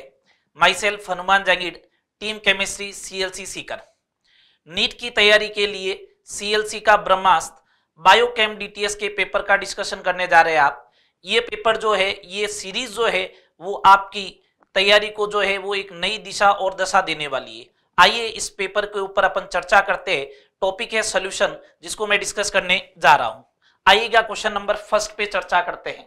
क्या कहता है क्वेश्चन नंबर फ़र्स्ट गैस दे रखी है के एच दे रखे argon CO two H C H O C H four correct order of their increasing solubility आपको इनकी विलेता का बढ़ता हुआ सही क्रम बताना है। गैस की द्रव में विलेता या solubility of gas in liquid जो होता है, वो एक्सप्लेन होता है हेनरी लॉ से। किससे एक्सप्लेन होगा? हेनरी लॉ से। हेनरी लॉ ये कहता है solubility of the gas solubility of the gas जो होता है, वो प्रेशर इंक्रीज करने पर इंक्रीज होता है। It means pressure over the pressure of the gas over the solution is directly proportional to mole fraction of the gas in the solution. P gas is directly proportional to x gas होता है। Directly proportional to का sign हटाएँगे तो K H into x gas आएगा where K H is the Henry constant जहाँ पे के H जो होगा, वो हेनरी नियतांक होगा। अगर अपन बात करें एट कांस्टेंट प्रेशर पर तो एट कांस्टेंट प्रेशर पे अगर बात करें तो जिसके लिए के एच की वैल्यू ज़्यादा होगी उसके लिए एक्स की वैल्यू कम होगी। एक्स की वैल्यू कम होगी, इसका मतलब विलेयता या सोल्यूबिलिटी क्या होने वाली है? कम होने वाली है। इसका मतलब जिसका के एच ज़्यादा, उसकी सोल्यूबिलिटी कम। जिसका के एच ज़्यादा होगा, उसकी सोल्यूबिलिटी कम होगी। सबसे ज़्यादा के एच आर्गन का दे रखा है। इसका मतलब इसकी सोल्यूबिलिटी सबसे कम होनी चाहिए। सबसे कम होनी चाहिए तो ये दो आंसर तो गए। उसके बाद सेकंड नंबर पे CO2 का दे रखा है। तो CO2 की सोल्यूबिलिटी सेकंड नंबर पे सेकंड लास्ट पे होनी चाहिए। It means answer is the third इसका थर्ड आंसर हो जाएगा। ओके बात? तो ये केएच से डायरेक्टली आपको चेक करना था। हाँ एक चीज़ आपको ध्यान रखनी है। टेम्परेचर इंक्रीज करने पर जो है, वो केएच की वैल्यू इंक्रीज होती है और सोल्यूबिलिटी डिक्रीज हो जाएगी। ये हेनरी लॉ से रिलेटेड इंपॉर्टेंट पॉइंट्स जो थे, वो मैंने आपको इस क्वेश्चन में डिस्कस कर दिए। इंपॉर्टेंट बात ये pressure of the gas over the solution is directly proportional to mole fraction of the gas in the solution okay next question पे चर्चा करते हैं second number problem the values of want of factor for KCl, NaCl and K2SO4 respectively are KCl, NaCl and K2SO4 के want of गुणांक के मान क्रमशः क्या होंगे सिंपल सी बात है, सारे आयोनिक कंपाउंड दे रखे अगर आपको कुछ भी नहीं दे रखा है तो 100 परसेंट आयोनाइजेशन कंसिडर करना होता है। अगर इनको 100 परसेंट आयोनाइजेशन कंसिडर करते हैं तो उस कंडीशन में आयोटा वॉन्ट ऑफ़ फैक्टर की वैल्यू जो होती है ए एक्स बी वाई के लिए अगर अपन बात करें, कोई भी इलेक्ट्रोलाइट होता है ए एक्स बी वाई तो उसके लिए वॉन्ट ऑफ़ फैक्टर आयोटा की जो वैल्यू होती है, वो होती है one plus alpha x plus y minus one ठीक है, अगर एल्फा की वैल्यू जो है, अगर एल्फा की वैल्यू जो है एल्फा की वैल्यू वन हो इट मींस हंड्रेड परसेंट हो, उस कंडीशन में आयोटा जो होगा, वो one plus x plus y minus one it means x plus y के इक्वल हो जाएगा। एक्स प्लस वाई के इक्वल हो जाए तो केसीएल में एक्स की वैल्यू वन वाई की value one it means KCl के लिए आयोटा जो होगा वो वन प्लस वन टू हो जाएगा। सिमिलर वे में NaCl के लिए बात करोगे तो भी वन प्लस वन टू हो जाएगा ये लो। And last K two SO four के लिए अगर आप बात करोगे तो एक बात ध्यान रखना सल्फेट पूरा एक साथ रहेगा। पोटेशियम के लिए दो नंबर आया तो एक्स की वैल्यू टू वाई की value one it is equal to three it means two two three second is the correct answer इसका करेक्ट आंसर कौन सा हो जाएगा? सेकेंड इसका करेक्ट आंसर हो जाएगा। ओके okay, बात? चले आगे। नेक्स्ट ये फॉर्मूला आपको ध्यान रखना है। चलिए जी। नेक्स्ट प्रॉब्लम पे बात करते हैं। थर्ड नंबर प्रॉब्लम अच्छा क्वेश्चन है ये एक। If relative decrease in vapour pressure is 0.2 for a solution containing one mole NaCl in five mole H2O then percentage ionisation of NaCl पाँच मोल H2O में, वन मोल NaCl के विलियन का वाष्प दाब में अपेक्षिक अवनमन पॉइंट टू है तो NaCl का प्रतिशत आयनन ज्ञात करो। पूछ रहा है वैसे भी परसेंटेज आयोनाइजेशन राउल्ट का लो ये कहता है relative lowering in vapour pressure जो होता है, ये लीजिएगा, ये एक्स बी होता है। ओके एक्चुअल में वॉन्ट ऑफ़ फैक्टर आयोटा जो होता है वो ये होता है colligative property experimental to colligative property theoretical का रेशियो होता है। क्वालिगेटिव प्रॉपर्टी जो होती है वो नंबर ऑफ़ मोल्स के ऊपर डिपेंड करती है। तो मैं ऐसा बोल दू experimental mole to theoretical mole का रेशियो है ये। तो एक बात बताइएगा एक्सपेरिमेंटल मोल जो आएगा, वो आयोटा टाइम्स आना चाहिए किसका? थ्योरेटिकल मोल्स का। ओके है बात? यहाँ पे सोल्यूट का एक्सपेरिमेंटल मोल सोल्यूट कौन है? NaCl. तो NaCl के जब भी आप मोल्स लिखोगे तो आयोटा टाइम्स थ्योरेटिकल मोल लिखना है। XB आयोटा टाइम्स NB, ये लो। Upon Na plus iota times NB, क्योंकि NaCl के मोल आयोटा टाइम्स हो जाएँगे। ये लीजिएगा। ये वैल्यू दे रखी है आपको point two okay iota calculate करना है अपन को। NaCl का मोल दे रखा है वन फाइव मोल वाटर है, प्लस आयोटा इंटू वन ये हो जाएगा। ये हो जाएगा one plus point two iota it is equal to iota. तो ये हो जाएगा point eight iota it is equal to one iota it is equal to one point two five अगर आयोटा 1.25 आया है तो अपन को मालूम है, iota it is equal to one plus alpha x की वैल्यू वन वाई की value one minus one it means point two five आ जाएगा एल्फा मीन्स परसेंटेज वाइज बोलेंगे तो 25 परसेंटेज हो जाएगा। इसका आंसर 25 परसेंटेज हो जाना चाहिए। Okay first is the correct answer इसका फ़र्स्ट करेक्ट आंसर हो जाएगा। चलिए नेक्स्ट बात करते हैं। अच्छा क्वेश्चन था। स्टार्टिंग के दो क्वेश्चन बहुत सिंपल से रखने की ट्राई की। थर्ड नंबर क्वेश्चन एक अच्छा क्वेश्चन था। स्टार्टिंग के दो क्वेश्चन बहुत सिंपल से। थर्ड क्वेश्चन एक अच्छा क्वेश्चन लोग यहाँ पे आयोटा का मल्टीप्लाई यहाँ पे कर देते, यहाँ पे करना भूल जाते। नेक्स्ट फोर्थ नंबर क्वेश्चन बहुत सिंपल सा क्वेश्चन दिया वापस। The concentration terms independent of temperature is तापमान से कौन सा स्वतंत्र सांद्रता पद है? बिल्कुल सिंपल सी बात है वॉल्यूम जो होता है, आयतन जो होता है वॉल्यूम ये टेम्परेचर डिपेंडेंट होता है, ये लीजिएगा। ये टेम्परेचर डिपेंडेंट है। तो जो भी कंसेंट्रेशन टर्म्स में वॉल्यूम आएगा, वो टेम्परेचर के ऊपर डिपेंड करेगी। अपन बात करते हैं मोल फ्रैक्शन तो मोल फ्रैक्शन में ऊपर भी मोल है अपोर में भी मोल है। मोल में मास एसोसिएट होता है, न कि वॉल्यूम तो इसका मतलब मोल फ्रैक्शन जो होंगे, वो टेम्परेचर इंडिपेंडेंट होगी पहला टर्म्स किसी को लग रहा है कि सर मोल का फॉर्मूला जो होता है, वो गिवन वॉल्यूम डिवाइड बाई 22.4 होता है, वो किसके लिए होता है? गैस के लिए होता है। इट मीन्स यहाँ तो सॉल्यूट की बात करोगे आप, यहाँ पे सॉल्वेंट की बात करोगे, वो लिक्विड होंगे, सॉलिड होंगे तो उनके मोल जो होंगे, उसमें वॉल्यूम का कोई इन्वॉल्वमेंट होगा ही नहीं तो मोल फ्रैक्शन जो होगा, वो टेम्परेचर इनडिपेंड हो जाएगा। नॉर्मेलिटी में नॉर्मलता का फॉर्मूला जो होता है सॉरी ये आंसर नहीं होगा। नॉर्मेलिटी का फॉर्मूला होता है number of equivalent upon volume of solution in litre volume आ गया देख लो। मोलारिटी भी नहीं होगा। मोलारिटी का फॉर्मूला क्या होता है? Number of moles in one litre of solution ये लीजिएगा वॉल्यूम वन लीटर तो ये भी नहीं होना चाहिए। वेट वॉल्यूम परसेंटेज ये भी नहीं होगा। W बाई वी परसेंटेज में बात करोगे तो it is the mass of solute upon volume of solution multiply by hundred. ये होता है। तो यहाँ पे भी वॉल्यूम आ गया। तीन टर्म्स में वॉल्यूम आ रहा है। इट मींस ये टेम्परेचर डिपेंडेंट हो जाएँगे। और फ़र्स्ट मोल फ्रैक्शन जो होगा, वो टेम्परेचर इनडिपेंडेंट होगा। नेक्स्ट प्रॉब्लम पे बात करते हैं। आइए।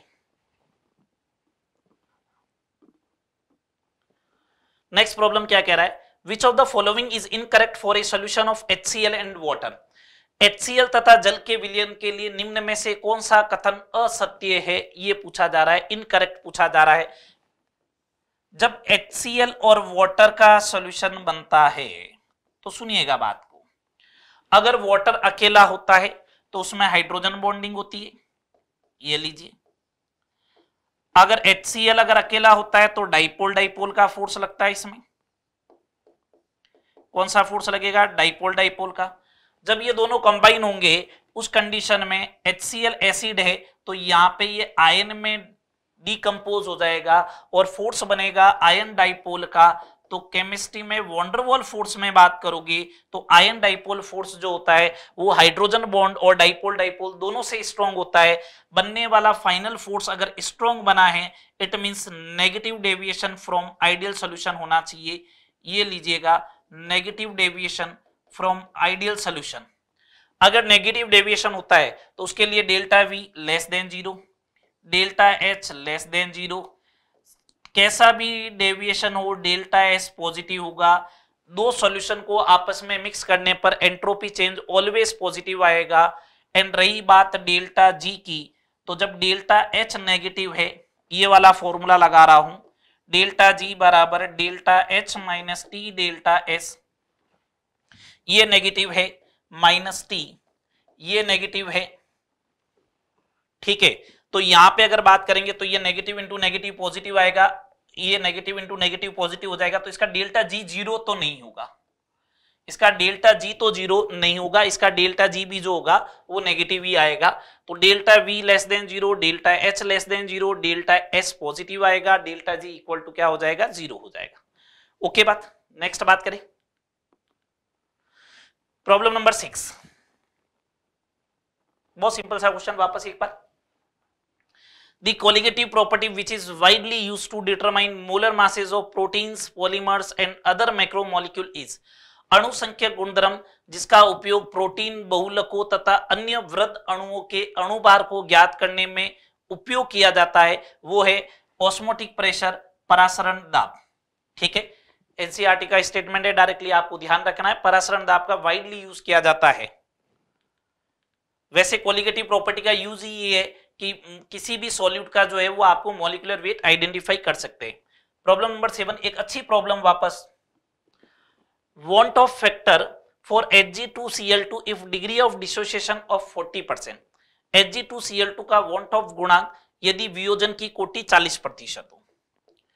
जब ये Hg2Cl2 अभी अपन ने फॉर्मूला देखा था, x और y तो लोग इसे क्या करते हैं, x की वैल्यू टू कंसिडर कर लेते हैं, y की वैल्यू टू कंसिडर कर लेते हैं जी नहीं बट ऐसा है नहीं। ये मर्क्यूरस है, अगर मर्क्यूरस है तो H G two two plus में होगा plus two time C L minus होगा, ये लो।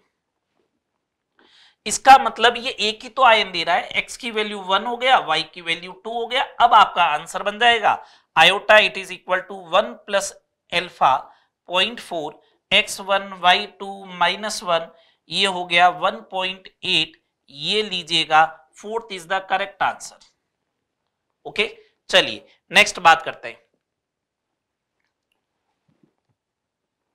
बहुत सिंपल सा question three moles of A and two moles of B are mix to form ideal solution then vapour pressure of the solution will be P A naught and P B naught की value आपको given है। Three mole A तथा दो मोल B को मिश्रित करने पर बने आदर्श विलियन का वाष्प दाब क्या होगा? लगाइएगा राउल्ट का लो। पी एस बराबर P naught A x A plus P naught B x B ये लगेगा। यहाँ पे एक्स ए और एक्स बी की वैल्यू की बात करें तो ए का मूल आ रहा है थ्री डिवाइड बाई टोटल मूल आ रहा है फाइव तो थ्री बाई फाइव तो एक्स बी किसके बराबर हो जाएगा? टू बाई फाइव के। ये लीजिए। इनकी वैल्यू पुट कर देते हैं P naught A three hundred है, ये थ्री बाई फाइव है प्लस ये वन ट्वेंटी है इंटू टू बाई फाइव है।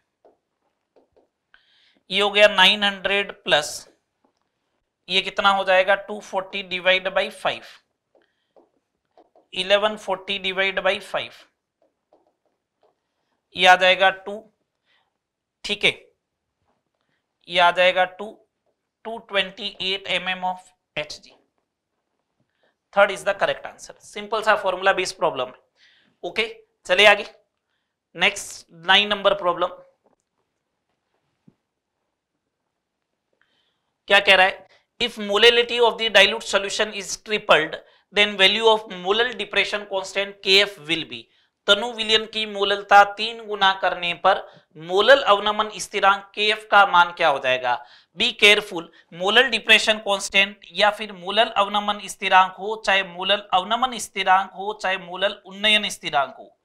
केएफ हो या केबी हो ये दोनों जो है, वो प्रॉपर्टी ऑफ़ सॉल्वेंट है। ये किसकी प्रॉपर्टी है? सॉल्वेंट की। जब तक सॉल्वेंट चेंज नहीं होता है जब तक सॉल्वेंट चेंज नहीं होगा, तब तक इसकी वैल्यू चेंज नहीं होगी। आप मोलिलिटी थ्री टाइम्स कर दो टेन टाइम्स कर दो, उससे कोई फ़र्क नहीं पड़ेगा। सॉल्वेंट चेंज नहीं इट मीन चेंज नहीं होगा। अनचेंज फोर्थ अपरिवर्तित आ जाएगा। ठीक है जी? आगे बात करते हैं। नेक्स्ट प्रॉब्लम नंबर टेन देखिए, The concentration of glucose solution which shows an osmotic pressure of 8.21 atm at 27 degree Celsius आपको यहाँ पे R की वैल्यू दे रखी है 0.0821 लीटर पर मोल ओके ये आपको गिवन है सपोज़ कीजिए। ठीक है गिवन नहीं हो तो भी आर की वैल्यू अंडरस्टूड होती है। ग्लूकोज विलियन की सांद्रता जो 27 डिग्री सेल्सियस पर तो अपन को मालूम है ग्लूकोज के लिए आयोटा वन होता है तो आयोटा सी एस टी या सी आर टी लगाए फॉर्मूले में। ग्लूकोज का 8.21 आयोटा ग्लूकोज का वन होता है नॉन इलेक्ट्रोलाइट होता है, इसलिए कंसेंट्रेशन कैलकुलेट करनी है। 0.0821 टेम्परेचर 300 केल्विन टेम्परेचर हमेशा केमिस्ट्री में केल्विन में लेना है, यहाँ पे 8 हो जाएगा। ये कैंसिल हो गया। C is equal to one by three one by three बोले तो point three three three M आ जाएगा। ये लीजिएगा fourth is the correct answer चलिए आगे बात करें। नेक्स्ट इलेवन नंबर आइए। Point zero zero four M aqua solution of N A two SO four is isotonic with point zero one M aqua solution of glucose then percentage ionisation of N A two SO four point zero zero four molar जलीय N A two SO four का विलियन point zero one M जलीय glucose विलियन का सम परासरी है Na2SO4 का प्रतिशत आयनन। अगर सॉल्यूशन आइसोटोनिक होता है, उस कंडीशन में उनके ऑस्मोटिक प्रेशर पाई वन बराबर पाई टू होगा। ये लीजिएगा iota one C one R T temperature same है तो iota two C two R T R T से आर टी कैंसिल हो जाएगा ओके आयोटा वन ग्लूकोज का वन है सी वन आपको दे रखा है पॉइंट ज़ीरो वन इसका आयोटा टू कैलकुलेट करना है पॉइंट ज़ीरो ज़ीरो फोर इसका आयोटा आ जाएगा two point five N A two SO four का। ये जो होगा, वो इक्वल होगा वन प्लस एल्फा एक्स की वैल्यू टू है वाई की वैल्यू वन है माइनस वन है। ओके तो यहाँ से two alpha it is equal to one point five alpha it is equal to point seven five अगर परसेंटेज आयोनाइजेशन की बात करोगे तो सेवेंटी फाइव परसेंटेज हो जाएगा। बात समझ में आ रही है आपकी? Third is the correct answer next twelve number problem बहुत सिंपल सा फॉर्मूला बेस्ड प्रॉब्लम पूछा गया। Boiling point of point two M aqueous solution of glucose is के भी दे रखा है फॉर वाटर का। Point zero two M glucose के जलीय विलियन का क्वथनांक क्या होगा? तो डेल्टा टीबी कैलकुलेट कर लेते हैं। Elevation in boiling point, iota into K B into M होता है। ग्लूकोज के लिए आयोटा वन हो गया K B point five two हो गया, मोलिलिटी पॉइंट टू हो गई। It is the point one zero four हो गया डेल्टा टीबी। अब एक्वा सॉल्यूशन है तो बॉइलिंग पॉइंट ऑफ़ सॉल्यूशन जो होना चाहिए, वो बॉइलिंग पॉइंट ऑफ़ सॉल्वेंट, क्योंकि एलिवेशन हुआ है तो सॉल्वेंट में ऐड करना पड़ेगा, प्लस डेल्टा टीबी, ये लीजिए। सॉल्वेंट का बॉइलिंग पॉइंट हंड्रेड वाटर है इसलिए plus point one zero four it is the hundred point one zero four degree Celsius ये लीजिएगा fourth is the correct answer ठीक है? नेक्स्ट बात करते हैं अपन।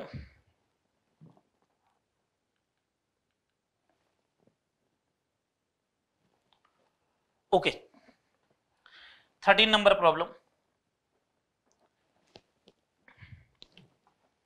50 ml of 0.2 molar HCl is mixed with 150 ml of 0.1 molar HCl.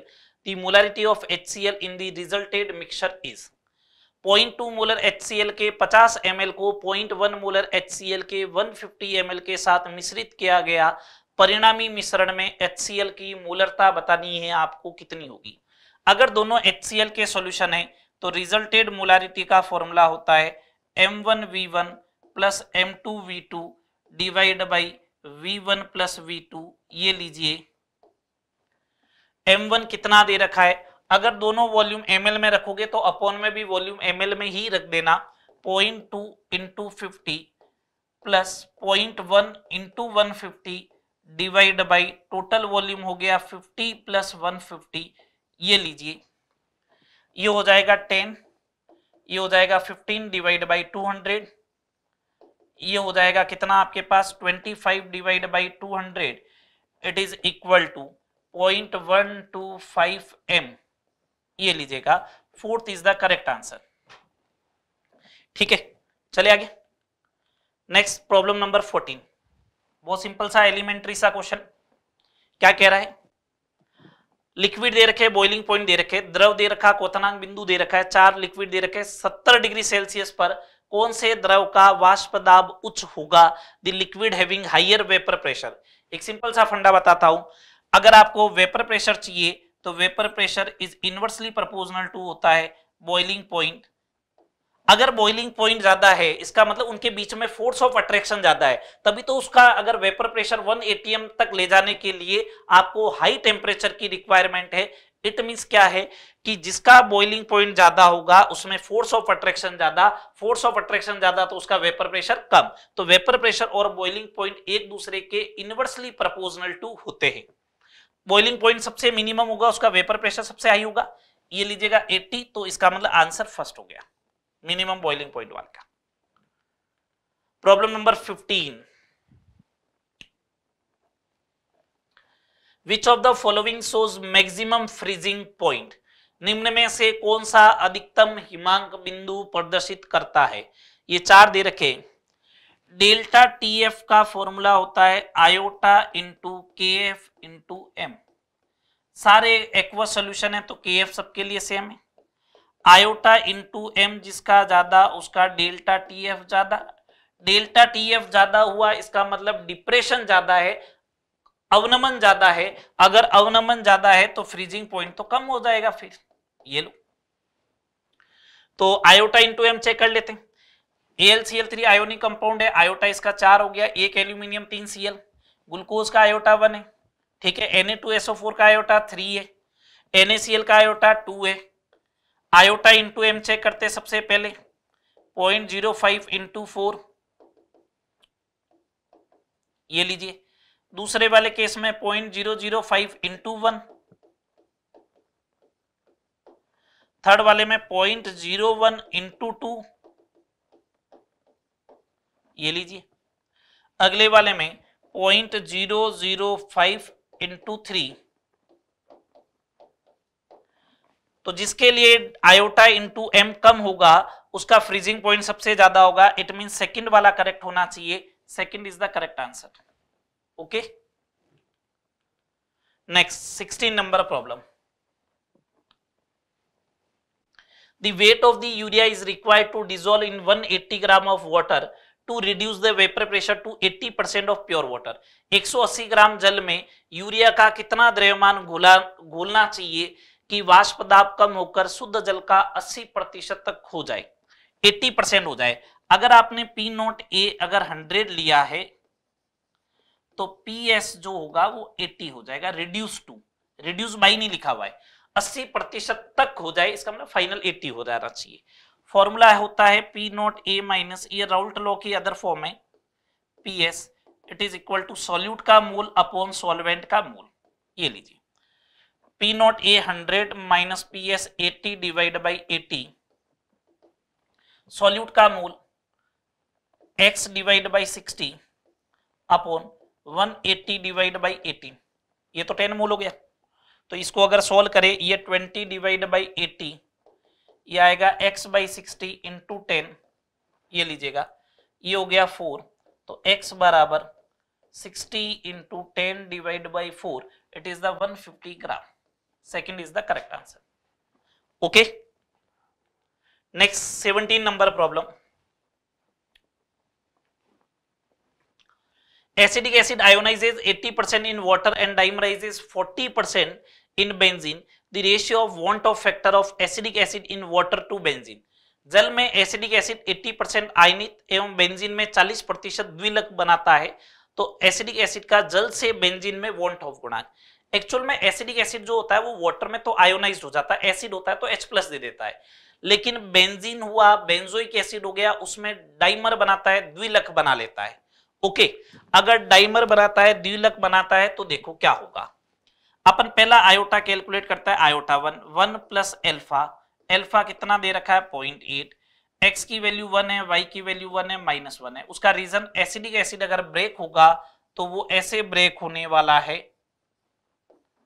C S three C O minus and H plus तो x की value भी वन हो गया, वाई की वैल्यू भी वन हो गया। ओके? okay. तो यहाँ से अगर अपन बात करें तो आयोटा वन हो गया 1.8 सेकेंड नंबर बात करें, डाइमराइजेस हो रहा है। डाइमराइजेस होता है तो फॉर्मूला होता है one minus alpha, one minus one by N. N का मतलब डाइमर बना रहा है, ट्राइमर बना रहा है। डाइमर बना रहा है तो एन की वैल्यू टू, ट्राइमर बना रहा है तो एन की value three. One minus point four, one minus one by two, it is the one by two. ये हो गया पॉइंट एट। ठीक है, दोनों का रेशियो लेना है iota one divide by iota two it is the one point eight divide by point eight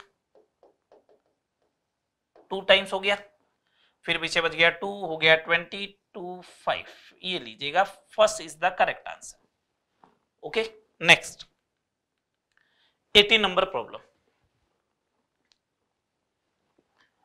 when blood cell are placed in pure water they जब रक्त कोशिकाओं को शुद्ध जल में रखा जाता है, ये अगर मान लीजिएगा ब्लड सेल है, ये सपोज़ कीजिएगा ब्लड सेल है, और अगर इनको आपने प्योर वाटर में रखा है तो सिंपल सी बात है कि ओस्मोसिस होगा। ओस्मोसिस जो होता है, वो प्योर वाटर टू सोल्यूशन होता है। अगर प्योर वाटर टू सोल्यूशन होने लग गया तो इसका मतलब ऑस्मोसिस की डायरेक्शन ये होगी। अगर ऑस्मोसिस की डायरेक्शन ये होगी तो इसका मतलब ये स्वेल करेगा मीन्स एंडो ऑस्मोसिस है, ठीक है? एंडो ओस्मोसिस हुआ तो ये क्या करेगा? स्वेल करेगा और लास्ट में बस्ट हो जाएगा। It mean second is the correct answer ठीक है? 19 number problem solution which shows positive deviation from the ideal behavior. कौन सा विलियन आदर्श व्यवहार से धनात्मक विचलन दर्शाता है? Benzene plus toluene ideal solution है। H2O प्लस HNO3 अभी बताया था नेगेटिव डेविएशन का है। Chloroform plus acetone hydrogen bonding की वजह से नेगेटिव डेविएशन का है। Acetone plus carbon disulphide it is the positive deviation तो fourth is the correct answer ठीक है? सिंपल से एनसीआरटी का एग्जांपल था। Problem number twenty vapor pressure of pure benzene is 0.85 bar when 0.5 gram non-volatile solute added in 39 gram benzene then vapor pressure becomes 0.845 bar molecular mass of the solute शुद्ध benzene का वाष्प दाब 0.85 बार है जब 0.5 ग्राम अवाष्पशील विलय को 39 ग्राम बेंजीन में मिलाया जाता है तो वाष्प दाब इतना हो जाता है तो विलय का अणुभार बताओ आप ये वाला फॉर्मूला अप्लाई कर सकते हो P not A minus P S upon P S it is equal to solute का मोल डिवाइड बाई सॉल्वेंट का मोल ये point eight five minus zero point eight four five upon zero point eight four five यहाँ पे बात करें point five divide by molecular weight M और इसकी बात करेंगे तो thirty nine divide by seventy eight ये हो जाएगा point zero zero five upon point eight four five zero point five multiply by two upon M तो यहाँ से m की वैल्यू 169 आ जाएगी means first is the correct answer okay next बात करते हैं।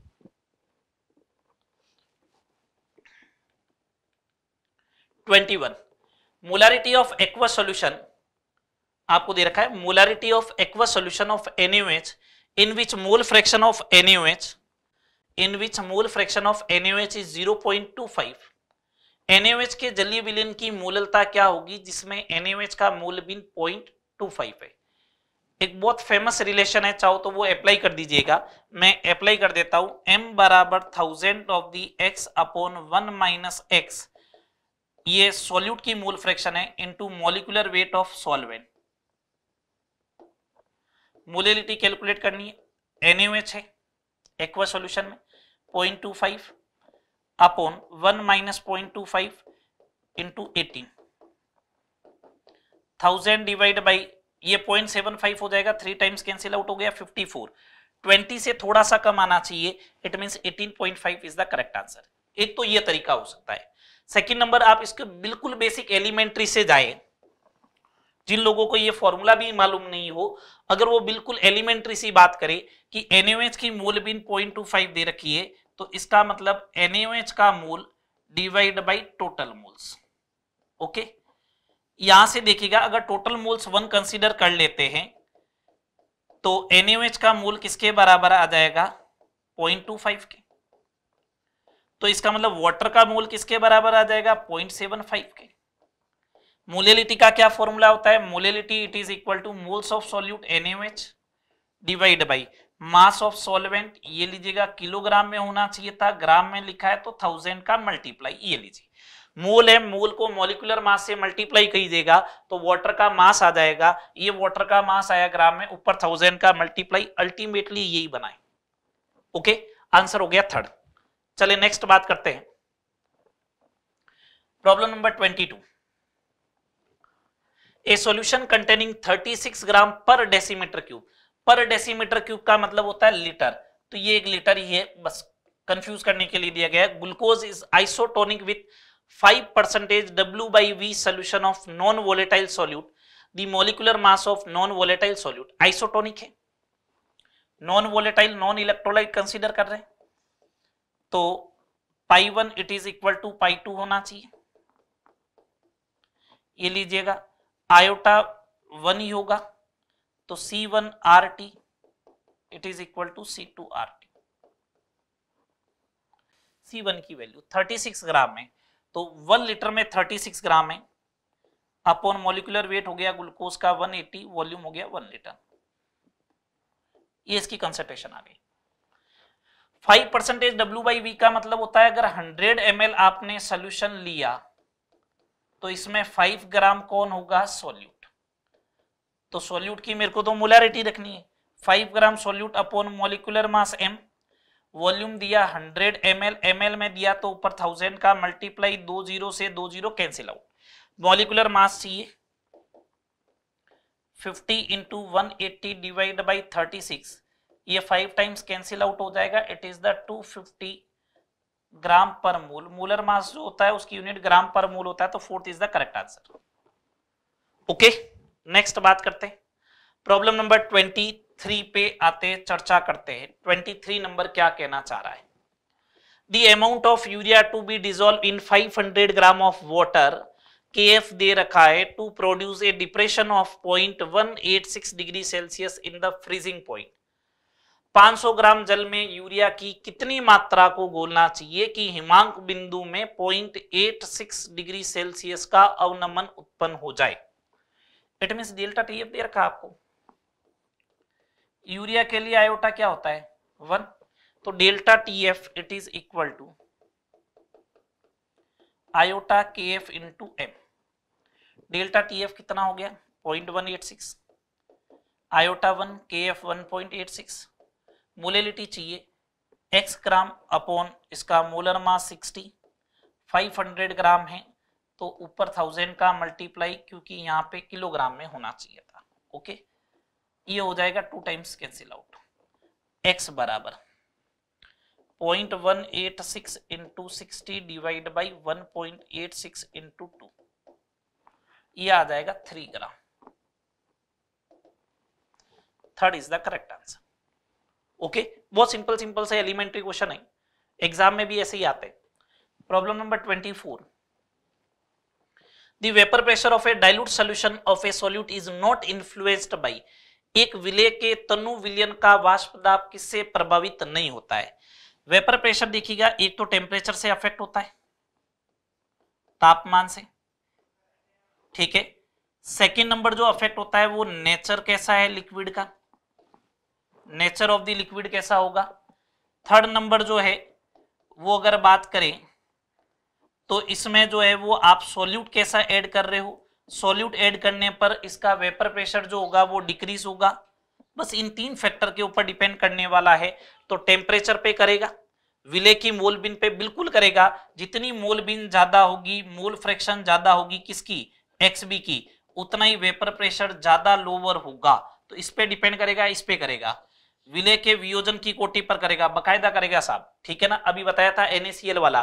क्या गलनांक बिंदु पे ऊपर डिपेंड करेगा क्या? नहीं। तो third is the correct answer okay next बात करते हैं, आइए। Question number twenty five P naught A to P naught B का रेशियो दे रखा है one race to two at a certain temperature X race to X B is one race to two in ideal solution what would be the mole fraction of a in the vapor in equilibrium with the solution at a given temperature? किसी निश्चित ताप पर P A naught and PB naught का ratio दे रखा है one race to two एवं आदर्श विलियन में X A to X B का रेशियो दे रखा है वन रेस टू टू दिए गए ताप पर विलियन के साथ साम्य में ए की वाष्प प्रावस्था में मूल बिन क्या है, ये आपसे पूछा गया है। बहुत सिंपल सा क्वेश्चन है।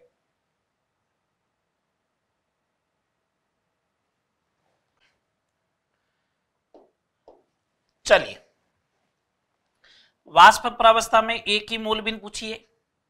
वाई ए इसको अपन लिखते हैं P A upon P S ये डोल्टन स्लो पार्शियल प्रेशर से ही फॉर्मूला आता है। पी ए हो गया P naught A X A upon P naught B X B plus P naught A X A okay इसको मैं डिवाइड कर देता हूँ P naught A X A से तो ये हो गया वन ये हो गया P naught B X B upon P naught A X A और ये भी हो जाएगा वन पी नॉट बी ये रेशियो दे रखा है अपन को। पी नॉट ए से पी नॉट बी का वन रेस टू टू है तो पी नॉट बी से पी नॉट ए का हो जाएगा टू एक्स ए से एक्स बी का दे रखा है तो X B by X A B हो जाएगा टू प्लस वन तो one divide by five it is equal to zero point two second is the correct answer हाँ जी question number 26 at 35 degree Celsius the vapour pressure of carbon disulphide is 512 MM of HG and that of acetone is 344 MM of HG a solution of carbon disulphide and acetone has a total vapour pressure of 600 MM of HG the false statement amongst the following 35 degree Celsius पर carbon disulphide का वाष्प दाब दे रखा है आपको। ठीक है?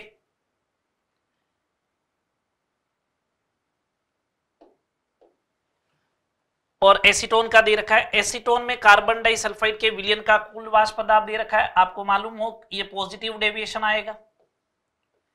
अगर पॉजिटिव डेविएशन आएगा तो इस कंडीशन में delta H greater than zero आएगा। इट मीन हीट एब्जॉर्ब होगी, उष्मा अवशोषित होगी। पहला स्टेटमेंट सही है। राउल्ट के नियम का पालन नहीं होगा, ये भी सही है। ये सही है, ये सही है। ट्रू है, ये भी ट्रू है। 100 एम कार्बन डाइसल्फाइड और 100 एम एसीटोन मिश्रण का आयतन delta V mixer greater than आएगा ज़ीरो इट मीन 200 हंड्रेड से ज़्यादा आना चाहिए। ये फॉल्स स्टेटमेंट है।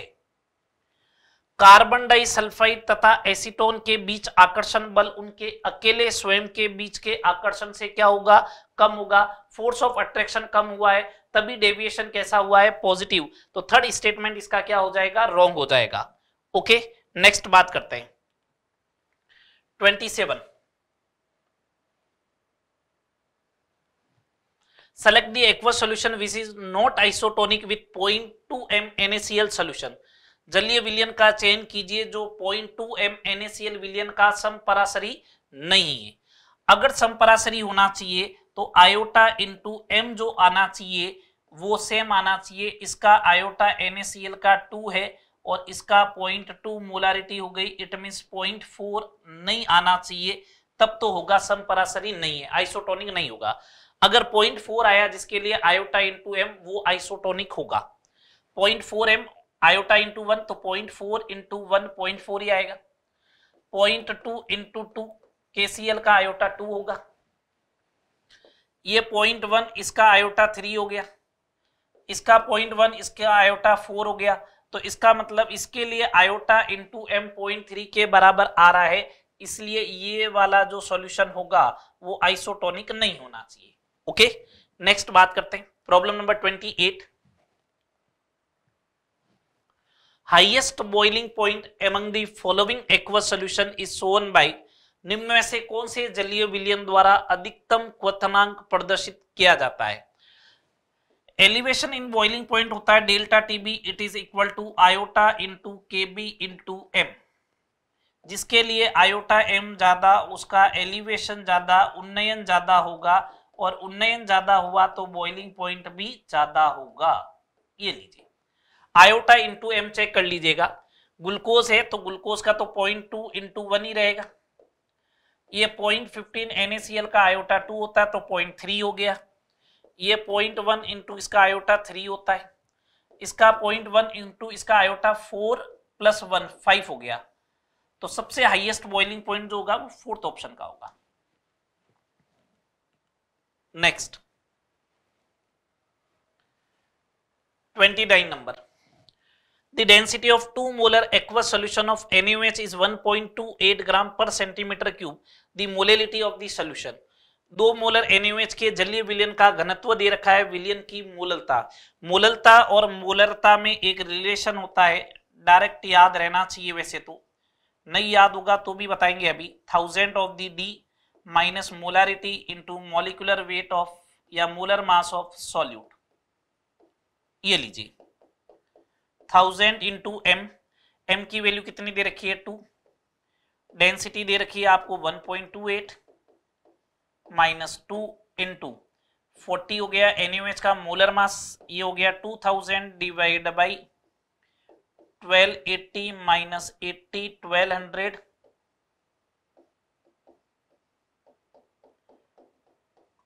five by three it is the one point six seven third is the correct answer ठीक है?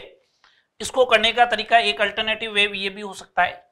अगर आप सॉल्यूशन का वॉल्यूम वन लीटर कंसीडर करते हो तो सॉल्यूट का मूल जो होगा, वो कितना हो जाएगा? टू मोलारिटी का मतलब ये होता है वन लीटर सॉल्यूशन में प्रेजेंट होने वाले मूल। तो वन लीटर सॉल्यूशन लिया तो मोल्स कितने हो जाएँगे? टू तो सॉल्यूट का मूल हो गया टू सॉल्वेंट का मास चाहिए। तो मास ऑफ़ सोल्यूशन जो आएगा वो किसके इक्वल आ गया? डेंसिटी इंटू वॉल्यूम तो one thousand M L multiply by one point two eight gram per M L M L से एम एल गया ट्वेल्व एट्टी ग्राम आ जाएगा ये लो। मास ऑफ़ द सॉल्यूशन अब मास ऑफ़ द सॉल्वेंट चाहिए आपको। तो मास ऑफ़ द सॉल्वेंट होगा सोल्यूशन माइनस सॉल्यूट का मास कितना हो जाएगा? दो मोल है, एक मोल का मास 40 है एनीवेज का तो ये आ गया 1200 ग्राम। तो molality number of moles of solute upon mass of solvent kilogram में होना चाहिए। आपने ग्राम में पुट किया है, ये लीजिएगा। 20 डिवाइड बाई 12 बोले तो 5 बाई थ्री बोले तो 1.67 ओके दोनों तरीके हो सकते हैं। नेक्स्ट प्रॉब्लम नंबर 30 अच्छा प्रॉब्लम है ये 100 degree Celsius per vapor pressure at 100 degree Celsius, the vapor pressure of a solution of 6.5 gram of a solute in 100 gram of the water is 732 mm. If Kb 0.52 degree Celsius per mole, the boiling point of this solution will be 100 degree Celsius पर 100 gram जल में उपस्थित 6.5 ग्राम विलय के विलियन का वाष्प दाब 732 एमएम है के भी दे रखा है तो विलियन का क्वथनांक बिंदु चाहिए ये आपसे पूछा जा रहा है। ठीक है? ये आपसे पूछा जा रहा है। तो देखिएगा, अपन को फ़र्स्ट ऑफ़ थिंग मेरे को फॉर्मूला ये अप्लाई करना है। Delta TB it is equal to K B into M means molality मालूम चले। मोलेलिटी के लिए मेरे को मोलिकुलर मास की ज़रूरत है। है ना? तो देखिएगा 100 डिग्री सेल्सियस पर प्योर वाटर का वेपर प्रेशर जो होता है, वो कभी गिवन नहीं होता है, वो वन एटमोस्फेरिक प्रेशर के इक्वल होता है 760 सिक्सटी mm होता है। ये सॉल्यूशन का हो गया। तो मैं मोलिकुलर वेट कैलकुलेट कर लेता हूँ P naught A minus P S upon P S it is equal to N B upon N A हो गया 760 sixty minus seven thirty two divide by seven thirty to it is equal to N B की value किसके equal होगी? 6.5 ग्राम divide by molecular mass M multiply by 100 gram water है 100 divide by 18 यहाँ से अपन molar mass calculate कर लेते हैं। 6.5 point five into seven thirty two multiply by eighteen divide by ये 28 एट इंटू हंड्रेड ये आ जाएगा। ये यहाँ पे मोलर मास रखना है। Delta TB it is equal to K B है 0.52 मोलिलिटी में 6.5 ग्राम सॉल्यूट है upon molar mass molar mass रखोगे तो ये मोलर मास आएगा। ऊपर चला जाएगा 28 eight into hundred upon mass of the solvent 100 gram है, ऊपर थाउज़ेंड का मल्टीप्लाई ये लीजिएगा 100 से 100 गया 6.5 से 6.5 गया delta TB it is equal to अगर इसको 0.5 कंसीडर करें तो 28 14,000 आ जाएगा divide by seven thirty two into eighteen अगर ये 700 होता तो 20 डिवाइड बाई 18 ऑलमोस्ट वन आएगा ऑलमोस्ट वन आएगा तो boiling point of the solution 100 plus one it means 101 degree Celsius आएगा. ओके नेक्स्ट 31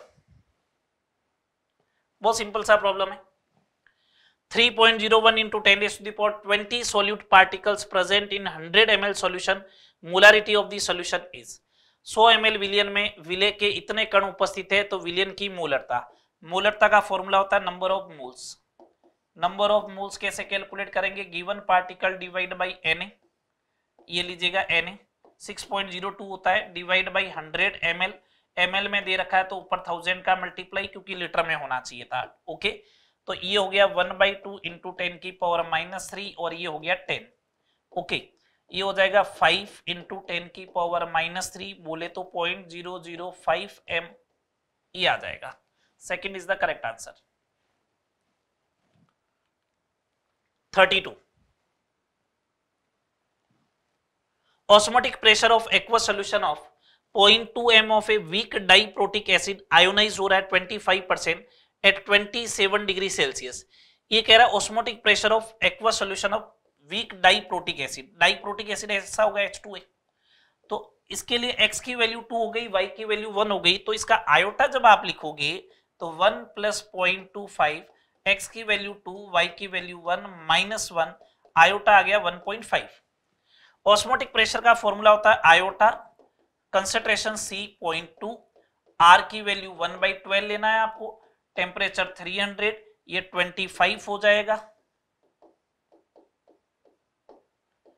लगभग लगभग 7.5 एटीएम के अप्रोक्स आएगा। 7.5 एटीएम के अप्रोक्स बोले तो second is the correct answer okay next बात करते हैं 33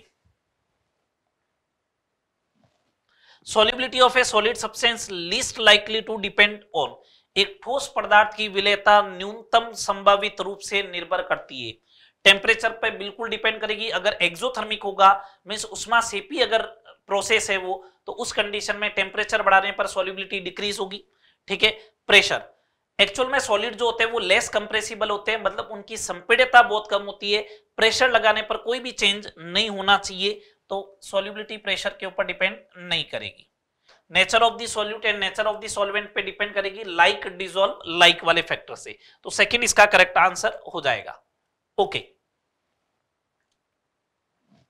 34 if 1 liter of sea water weight 1100 gram contains 6.6 .6 into 10 raised to the power minus 3 gram of dissolved oxygen then concentration of oxygen in ppm simple si baat hai ppm mein chahiye to mass of the solute ye ho gaya divide by mass of the solution multiply by 10 raised to the power 6 chahiye to 6.6 .6 ka ye ho jayega 66 divide by 11 it is equal to 6 ppm second is the correct answer okay next thirty five number अच्छा question है, अच्छी problem है, एक ये.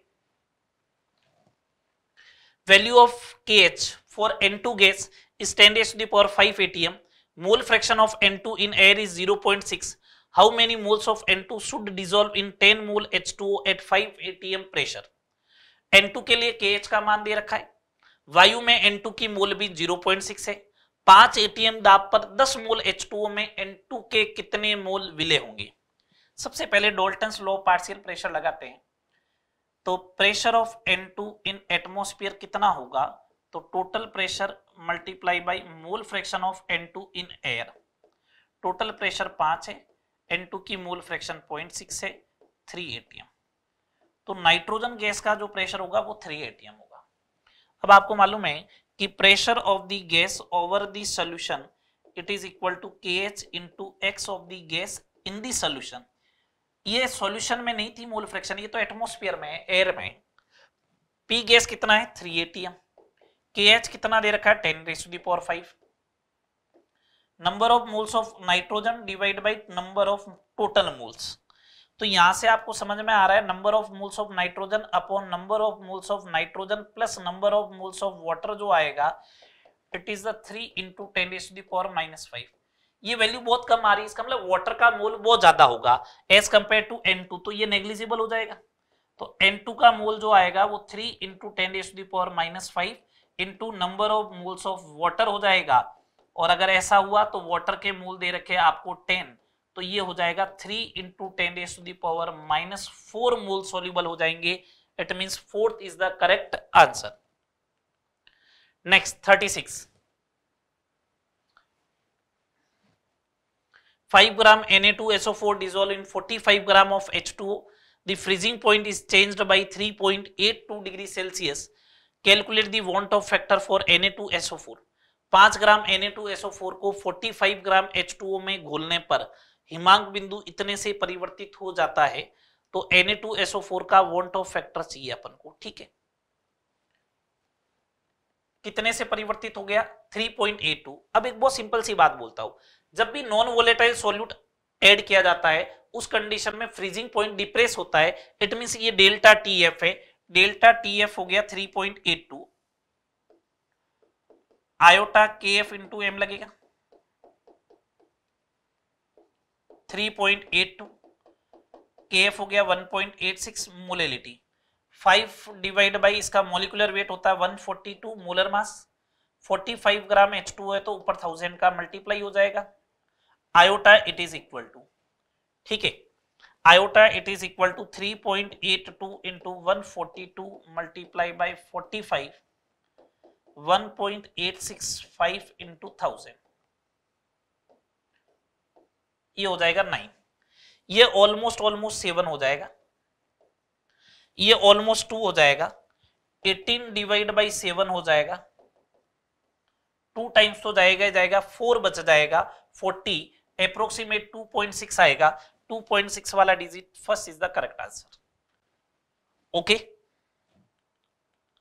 next देखते हैं. An aqueous solution of 1 mole in Ki change will cause the vapor pressure of the solution to increase. एक molar Ki का जलीय विलयन है। आपको बोला कौन सा परिवर्तन विलयन के वाष्प दाब को बढ़ाएगा? एक्चुअल में के जो है, वो नॉन वोलेटाइल सॉल्यूट है।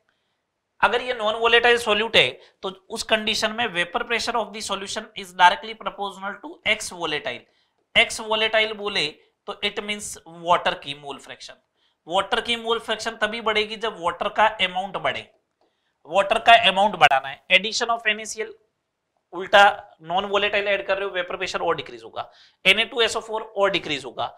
Ki और डिक्रीज होगा। एडिशन ऑफ़ वाटर इंक्रीज हो जाएगा। Because mole fraction of volatile solvent increases on addition of water then vapour pressure of the solution also increases 38 अच्छा question during osmosis the flow of water through a semi permeable membrane is परासरण के दौरान अर्ध पारगम्य झिल्ली से जल का बहाव होता है। ये एसपीएम है जो अपने में से ओनली फॉर सॉल्वेंट पार्टिकल को फ्लो करने देती है। ध्यान रखना सॉल्वेंट पार्टिकल इधर भी फ्लो होगा, इधर भी फ्लो होगा बट नेट फ्लो जो होना चाहिए, ये दोनों अनइक्वल रेट से होगा और नेट फ्लो जो होगा, वो low concentration solution to high concentration solution की तरफ़ होता है। It is the net flow ये नेट फ्लो होता है। फ्लो दोनों साइड से होगा। बट लो कंसेंट्रेशन से हाई कंसेंट्रेशन की तरफ़ पाँच से हुआ तो इधर तीन से हुआ तो आपको ओवरऑल क्या दिखाई देगा? नेट दो इधर दिखाई देगा। तो दोनों साइड से होगा। From both side of SPM with unequal flow rate इसका मतलब third is the correct answer okay next thirty nine which of the following 0.1 m aqueous solution will exhibit the largest freezing point depression. Point one M जलीय विलियन में से किसके लिए हिमांक बिंदु में अवनमन अधिकतम है? अवनमन पूछ रहा है it mean delta T F पूछ रहा है।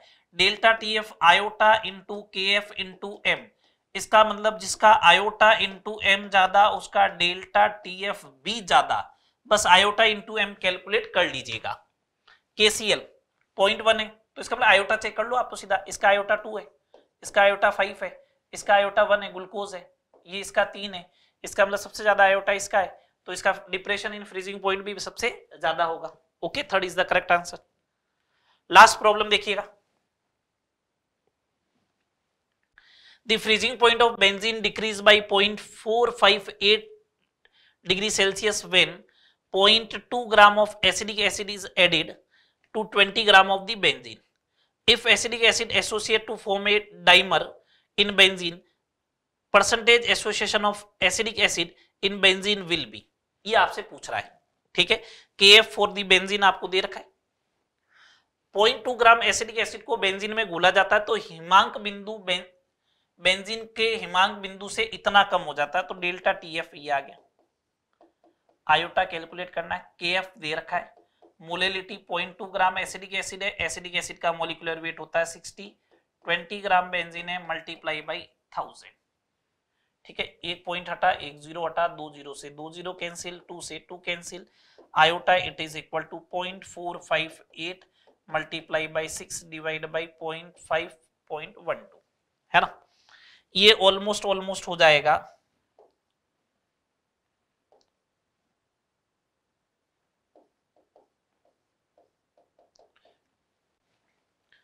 ये ऑलमोस्ट ऑलमोस्ट जो हो जाएगा।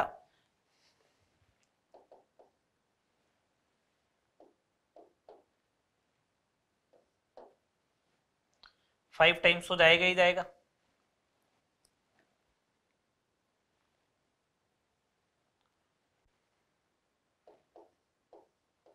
Three times point five three आ गया ऑलमोस्ट आयोटा अगर आयोटा पॉइंट फाइव थ्री आया है तो अपन को तो कैलकुलेट करना है। One minus alpha into one by two तो alpha by two it is equal to zero point four seven alpha it is equal to point nine four means ninety four point six percentage ये complete solution था. Biochem test series के test number six का topic था solution हर type के question exam oriented जितने भी type के क्वेश्चन बन सकते थे, इसमें इजी क्वेश्चन का भी मिक्सअप था. एवरेज क्वेश्चन भी थे. कुछ अच्छे क्वेश्चन के कंसेप्ट भी थे. जिससे जो है, वो अच्छे बच्चों के लिए जो है, वो ये भी मालूम चले कि हम कहाँ पे स्टैंड कर रहे हैं, किस टाइप के क्वेश्चन आ सकते हैं। पूरा एग्ज़ाम ओरिएंटेड पेपर को अपन ने डिस्कस किया। होपफुली आपका पेपर बहुत अच्छा हुआ होगा। Okay thank you